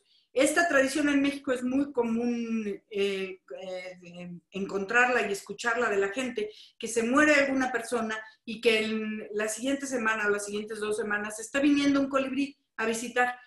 La gente se pone muy contenta porque eh, piensa que está trayendo estos pensamientos de un reino al otro. Esto también tiene un significado biológico, ni crean que no se lo he encontrado.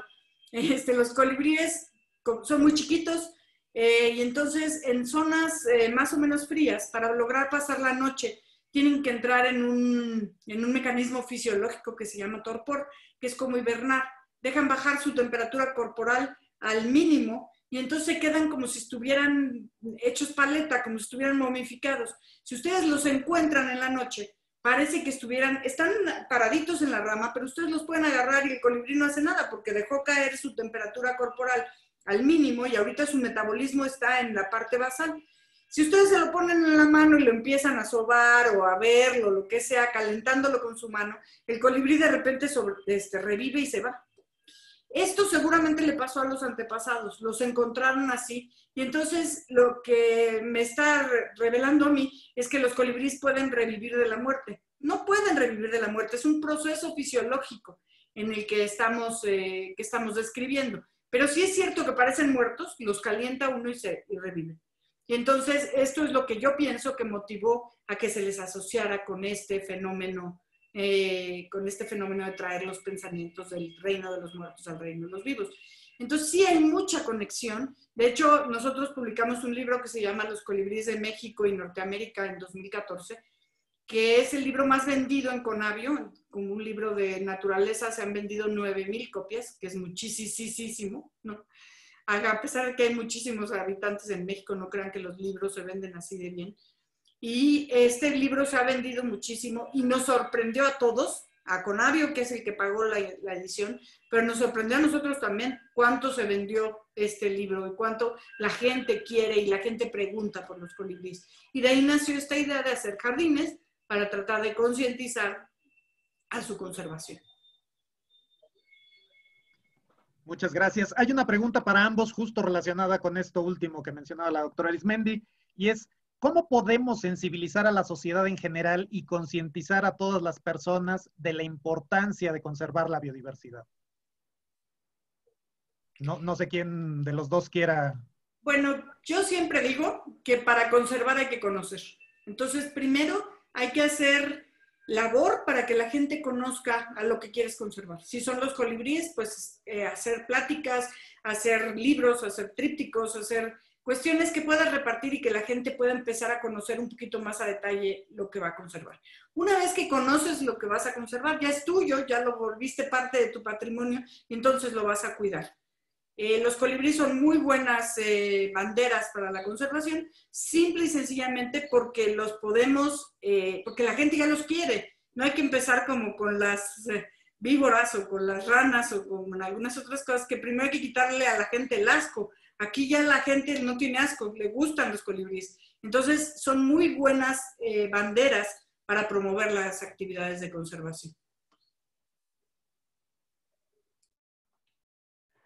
Sí, bueno, eh, muy interesante todo lo que ha aportado doña María eh, del Coro Arismendi y estoy de acuerdo con lo que menciona, tenemos que conocer em, definitivamente la biodiversidad que tenemos para poder enseñar al respecto. Eh, yo considero también que una práctica que ya se realiza, pero que se debe extender todavía más, es incentivar en, en los niños, por ejemplo, la educación ambiental.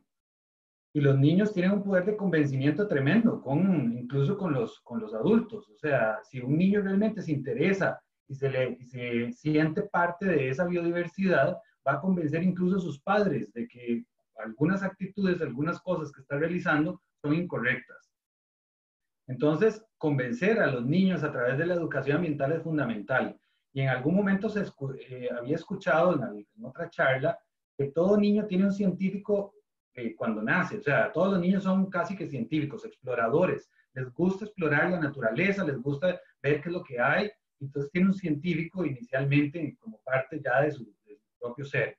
Entonces, incentivar eso a través de educación ambiental y que, se, que se vuelva parte de su entorno normal, de que esas especies están ahí y se deben cuidar y debemos, somos todos parte de ese, de ese ambiente, y dar esa idea y compenetrarla y difundirla a través de las nuevas generaciones puede generar un cambio a futuro. Esto se ya se ha estado haciendo bastante desde que apareció el concepto de educación ambiental hace ya varias décadas, pero se debe incentivar todavía más para eliminar ese, esa, desmitificar ciertas cosas y eliminar esas, esas creencias populares que se tienen e incentivar con educación la, la posibilidad de, de querer a todos los organismos incluso algunos que no parezcan tan bonitos como algunos sapos, algunas serpientes o algunas lagartijas que no llaman tanto la atención.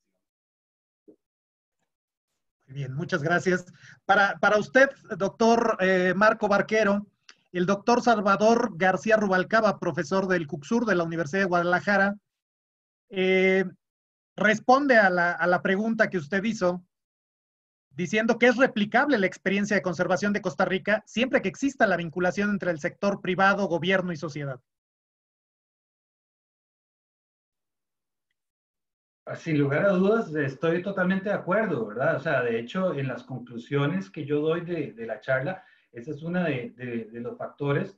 Tiene que haber una vinculación fuerte, ¿verdad?, de todos los sectores para que se logre eh, una verdadera eh, conservación de los recursos y que no se vean simplemente como aprovechables y que sean este, eventualmente pues, algo que se va a desgastar, a, volverse perecedero, sino que si, si, se busca que esos recursos sean imperecederos, tiene que haber una vinculación estatal, tiene que haber una vinculación del sector privado. Y eh, eh, una cosa importante es también la voluntad política para llevar a cabo esto. Eh, menciono, por ejemplo, un proyecto que existe, no sé si, eh, bueno, supongo que lo conocerá mucha gente, que se llama Half Earth Project. Está liderado, la, el proyecto La mitad de la Tierra, así como parece extraño el nombre, pero está liderado por un, un biólogo muy reconocido que es Edward Wilson, y eh, lo que propone es que para que la, la, la biodiversidad llegue a mantenerse y no se extinga del planeta, se tiene que tener por lo menos la mitad de la Tierra preservada en sus ecosistemas naturales.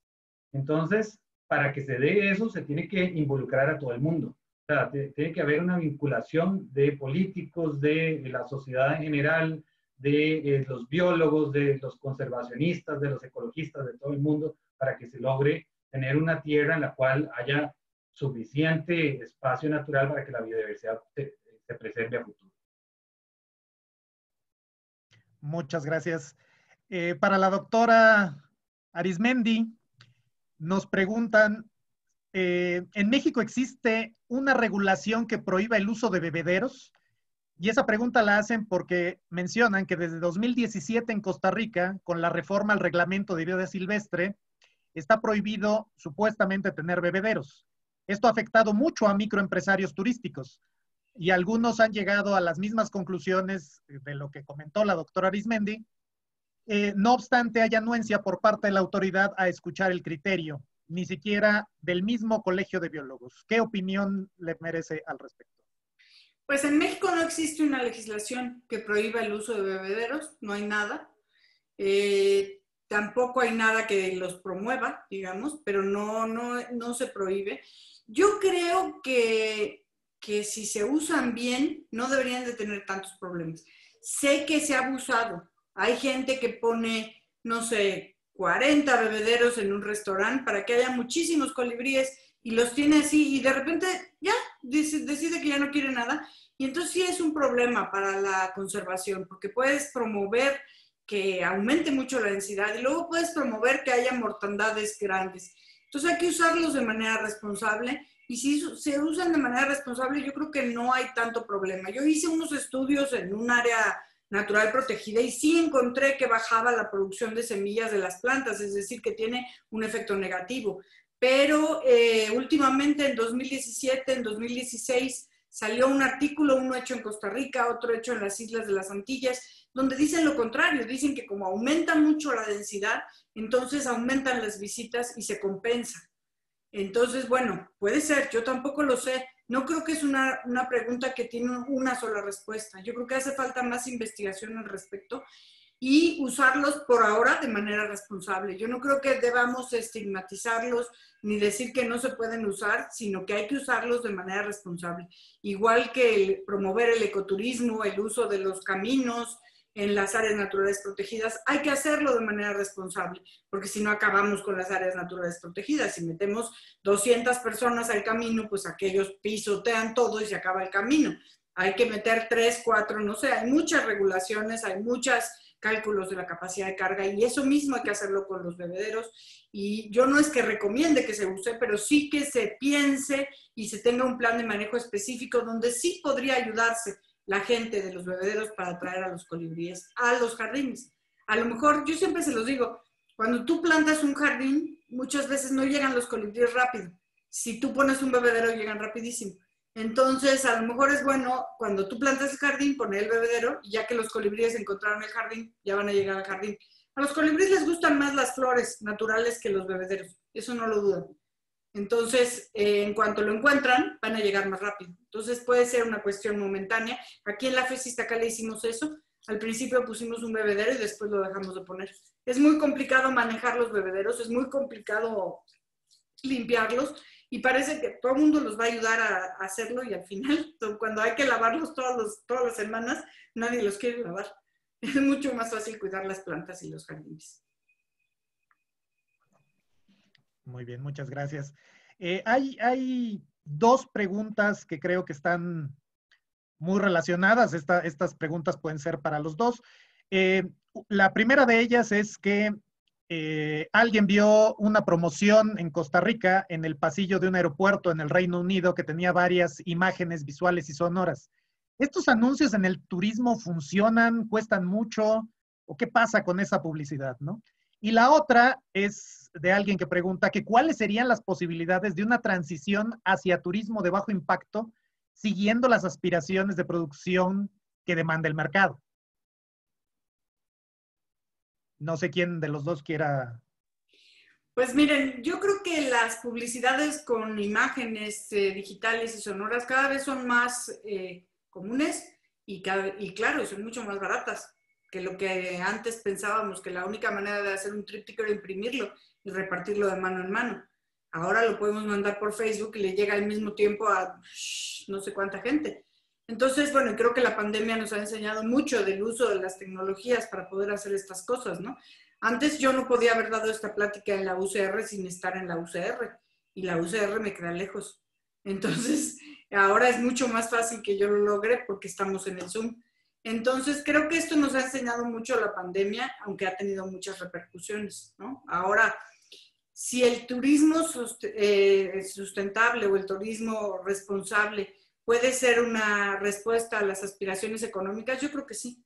Yo creo que hay que hacerlo con planes de manejo muy específicos y como se los dije al principio, para mí en esto sí Costa Rica es un referente en la que podemos seguir en sus buenas prácticas, lo que han intentado y les ha funcionado y lo que han intentado y no les ha funcionado.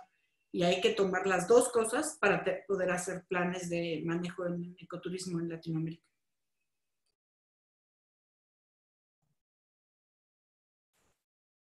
Doctor Barquero. Eh, sí, eh, bueno, las redes sociales sin lugar a dudas vinieron a hacer un cambio muy importante, ¿verdad? Para hacer difusión y eh, llegar a un público muchísimo más amplio. Sin embargo, hay que tener bastante cuidado, ¿verdad? O sea, incluso, bueno, no solamente, o como esta que se menciona, ¿verdad? Este tipo de difusión a través de imágenes sonoras o, como digo, las redes sociales, hay que manejarlas con cuidado le pongo, por ejemplo, pongo, por ejemplo, un caso que se dio hace, eh, hace un tiempo en Costa Rica, donde se hizo una difusión, bueno, a los que no están, tal vez no conozcan mucho sobre el tema, hay una, eh, tenemos una especie de tortuga marina que eh, le decimos es la tortuga lora, en la que tiene en Costa Rica dos playas de anidación y son, bueno, de anidación masiva, hacen lo que llamamos arribadas. Entonces llegan muchísimas hembras a depositar los huevos en un periodo corto de tiempo, unas cuantas noches. Se hizo una difusión a través de redes sociales sobre una, una eh, que se iba a dar uno de estos eventos de arribada y llegaron cientos de personas al sitio y lo que hicieron, o sea, sin ningún o sea, de, de forma descontrolada fue ese evento, desgraciadamente, eh, intervinieron hasta cierto punto con el proceso normal de anidación de las tortugas, lo cual, lo cual no está bien. Entonces, la, la difusión a través de este tipo de, de, imágenes tiene mucha, o sea, llega a muchas personas, pero se tiene que manejar con mucho cuidado, de forma muy responsable y siguiendo controles que se, que se deben, eh, deben tener en cuenta. Además, con respecto a, bueno, a lo que se menciona del turismo, eh, digamos, hacia un turismo sostenible, una actividad que no sea tan impactante.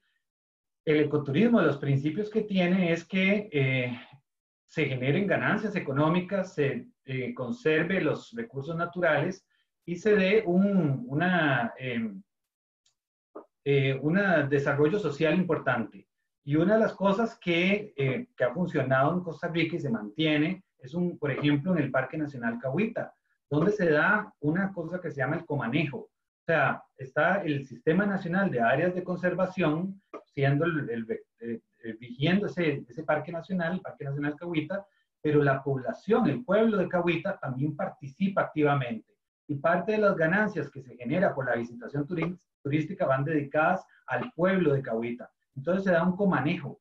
Participan activamente en la construcción, reparación de senderos, atención del público, regulaciones que se tengan que implementar y también el, el SINAC hace lo mismo. Entonces, eh, este comanejo beneficia tanto a la comunidad local como a la conservación del ambiente y se ve el área protegida, la percepción del área protegida es como una parte integral del pueblo. Entonces, lograr eso es lo que se, lo que se busca, que se, que se apropie la gente de ese, de ese tipo de terrenos, de esas áreas, para lograr un turismo sostenible.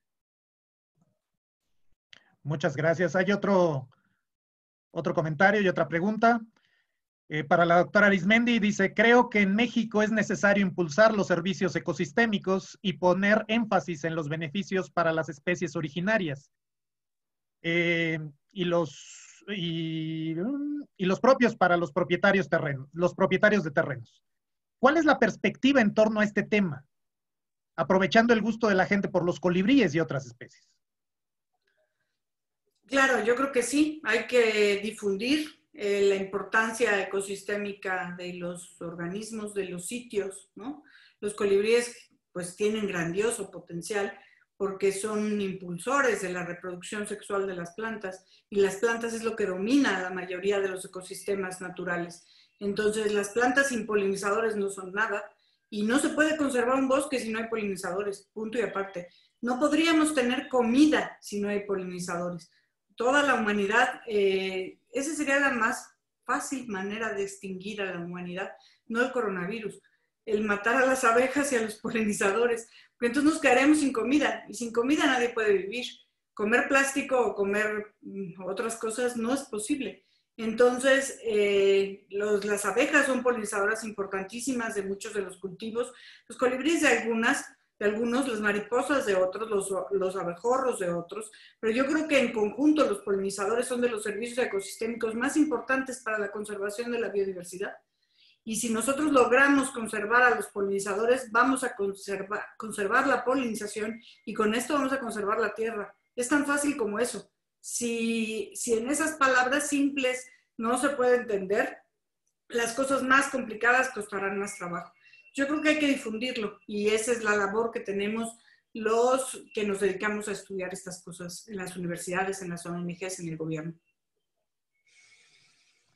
Muchas gracias. Una, una pregunta para el doctor Barquero.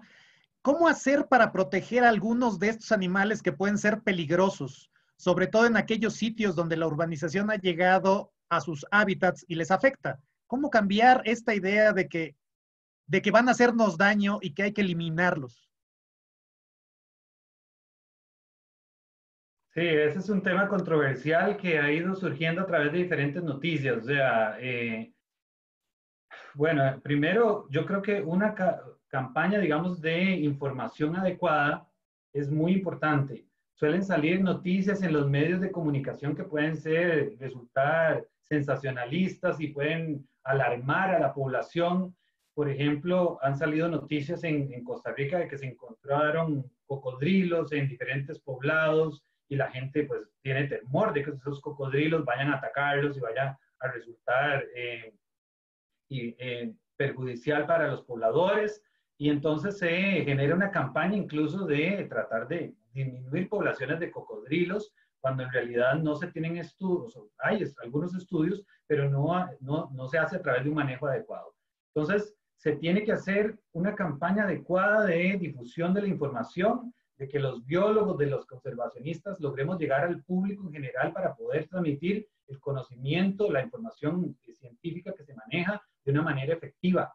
Y eso a través de, diferentes organizaciones, o sea, la participación no solo de la prensa a través de, informar adecuadamente, sino también de llegar a todos los medios, o sea, a través de redes sociales, a través de, eh, eh, de los centros educativos. O sea, la educación ambiental en general hace que se perciban a los organismos como necesarios.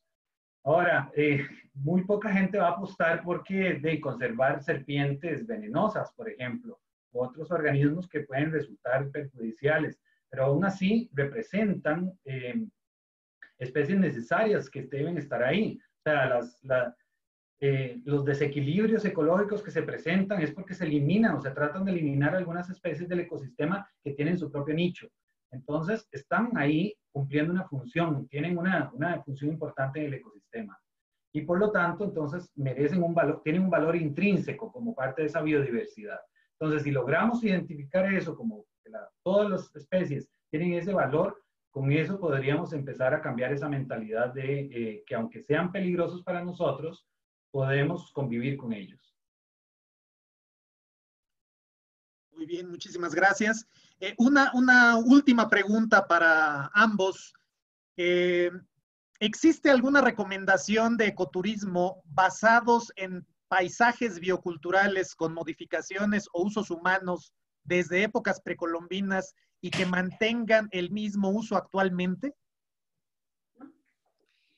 Eh, sí, en México hay, por ejemplo, la apuesta de, de las, eh, todas las ruinas, todas las, eh, todas las zonas arqueológicas que tenemos y el, y el, turismo basado en estas zonas arqueológicas. Incluso hay algunas zonas en donde se ha impulsado la zona arqueológica en relación con, con su vínculo con el ecosistema. Entonces, bueno, pues esto podría ser como una forma. Ahora, con pueblos originarios, por ejemplo, está toda la apuesta de los pueblos mágicos en México y algunos de estos pueblos mágicos son originarios y algunos de estos tienen, eh, por ejemplo, en Oaxaca conozco algunos, en donde hay propuestas de manejo sustentable de la biodiversidad y de ecoturismo asociado a, esta, a este manejo. Entonces, sí existe, no es muy común y podría ser mucho más común en lugares como México, en donde tenemos esto de manera muy, muy arraigada.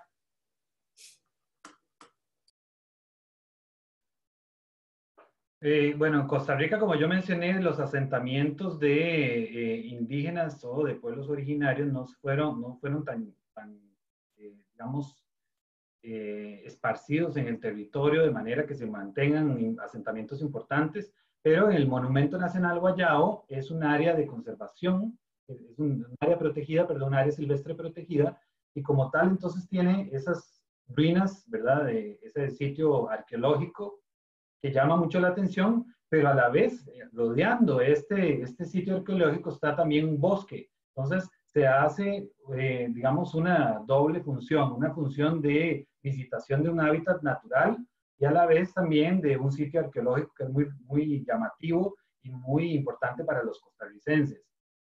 Eh, se han tratado también de hacer esfuerzos en otros sitios, como por ejemplo en el primer sitio al que llegó Cristóbal Colón a Costa Rica, que es la isla, se le llama Isla Huita o Isla Quiribrí, y, eh, y, es un sitio que tiene bastante historia en diferentes aspectos. Ahí se, tienen, se tuvo un hospital de leprosos, se tienen este, em, lugares donde se han identificado y es un sitio que también se ha tratado de preservar naturalmente. Entonces se da una mezcla, digamos, a los visitantes se puede dar una mezcla tanto en un aspecto cultural como natural. Y sin lugar a dudas lo que dice eh, la doctora Arismendi es también algunos sitios de reservas indígenas que tenemos en Costa Rica donde los mismos, los mismos indígenas han empezado a desarrollar Em, agro, eh, el agroturismo, donde tienen fincas, donde se produce cacao, donde se producen diferentes cultivos, y eso atrae a los visitantes, además de las artesanías que ellos mismos pueden eh, hacer en estos territorios. Entonces llama la atención para un turismo, un turismo rural, un turismo de eh, agroturismo también, como mencionó, o aspectos, un sitio más natural que sería entonces el ecoturismo. Todos esos factores involucran a la digamos, la compenetración de la parte cultural y la parte eh, natural.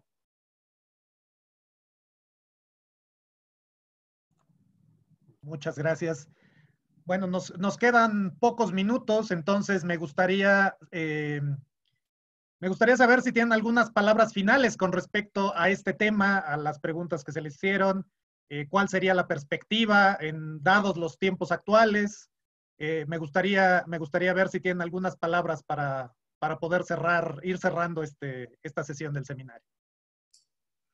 Bueno, pues miren, yo creo que en los tiempos actuales esta pandemia nos, nos llevó a reflexionar en muchos sentidos, ¿no? Todavía no hemos salido, por lo menos en México seguimos luchando contra todos los efectos adversos que esta pandemia nos ha traído.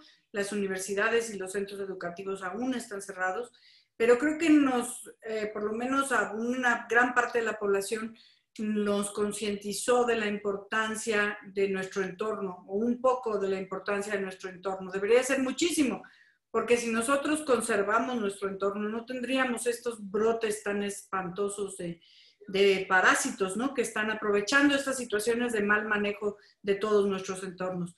Ahora, manejar el entorno de una ciudad para tener jardines y ambientes agradables en donde nosotros podamos pasar un rato cuando estamos en situaciones de encierro, ha cobrado una importancia primordial en estos días en los que hemos tenido que estar encerrados sin ver nada más. Si nosotros tenemos un pedacito donde podamos tener la dicha de que llegue un colibrí a visitarnos, estaremos más felices que si no lo tenemos. Gracias. Gracias, doctora Arismendi. Doctor Barquero. Eh, bueno, yo eh, eh, creo que, o tengo la esperanza de que a mucha gente el estar encerrado y no tener la posibilidad de, una libre movilización, lo lleve a pensar a que muchos de los organismos que están, que están ahí afuera sufren de eso también. O sea, ellos están confinados, los hemos ido confinando a espacios cada vez más reducidos y que tienen una movilidad restringida. Entonces, el hecho de que se haya visto, se hayan hecho todas estas observaciones anecdóticas de que porque no hay seres humanos, se han visto más especies, se han podido detectar más, eh, se han dado avistamientos, se han visto chacales en ciudades de la India, en Costa Rica hemos visto Hawái, eh, eh, algunos felinos, o incluso manatíes en, la ciudad de Puerto Limón. todo esto nos lleva a pensar que los hemos reducido a un espacio que no es el espacio natural. Entonces, si logramos pensar en eso y logramos encontrar soluciones y este, seguir, digamos, una percepción más amigable con nuestro entorno, eso sería la gran lección que nos estaría dando esta pandemia y podríamos llegar a preservar la biodiversidad, que como bien dice Edward Wilson, podemos combatir el, el cambio climático, llegar incluso a revertir un poco disminuyendo las emisiones y todo este cambio, las condiciones climáticas podrían de, eh, tornar a límites o a, las, a, lo que estábamos acostumbrados. Pero en el momento que se extingan las especies, eso es irreversible. La extinción no tiene vuelta atrás. Se extinguen las especies y se acabó para siempre esa especie. Entonces, si, si, si nos enfocamos solo en el cambio climático y nos olvidamos de que las especies se extinguen, estamos cometiendo un error. Tenemos también que enfocarnos en la protección de esos, de esos organismos y saber que no podemos dejar que se extingan e incluso organismos como digo, no tan carismáticos como los anfibios y los reptiles, pero que representan grupos que tienen millones de años de evolución y que son importantes en la naturaleza. Muchísimas gracias. Pues bueno, eh, se nos está agotando el tiempo. Les agradecemos a los dos investigadores que tuvimos el día de hoy. A nuestros espectadores les recordamos eh, que hay una encuesta al, final del seminario que estará disponible una hora para que puedan registrarse. Esto es con la finalidad de conocer su opinión, su punto de vista y sobre todo saber quiénes fueron los que estuvieron asistiendo a la plática para que puedan recibir eh, una constancia. Entonces, les, la, liga está ya en, en los chats de las dos plataformas que tenemos. Les pedimos por favor que la llenen y bueno, les agradecemos sin duda a, la doctora María del Coro Arismendi, al doctor Marco Barquero Arroyo, su participación en esta primera sesión del seminario. Como les dijo la doctora Laura Otero, es un seminario que pretendemos que se dé una vez por mes. La sesión para el próximo mes estará enfocada a las acciones realizadas por las universidades, por estas dos universidades ante la pandemia. Entonces, sin duda será un tema bastante interesante. Entonces, les agradecemos su, asistencia a todos nuestros espectadores y los esperamos para la siguiente sesión el último viernes de octubre. Muchísimas gracias. Muchas gracias, muchas gracias al, al Centro de Estudios Mexicanos en Costa Rica y también a la Universidad de Costa Rica por esta invitación y eh, siempre estamos muy contentos de participar con ustedes. Muchas gracias. Muchas gracias también de mi parte y, ojalá que sigan dándose este tipo de actividades.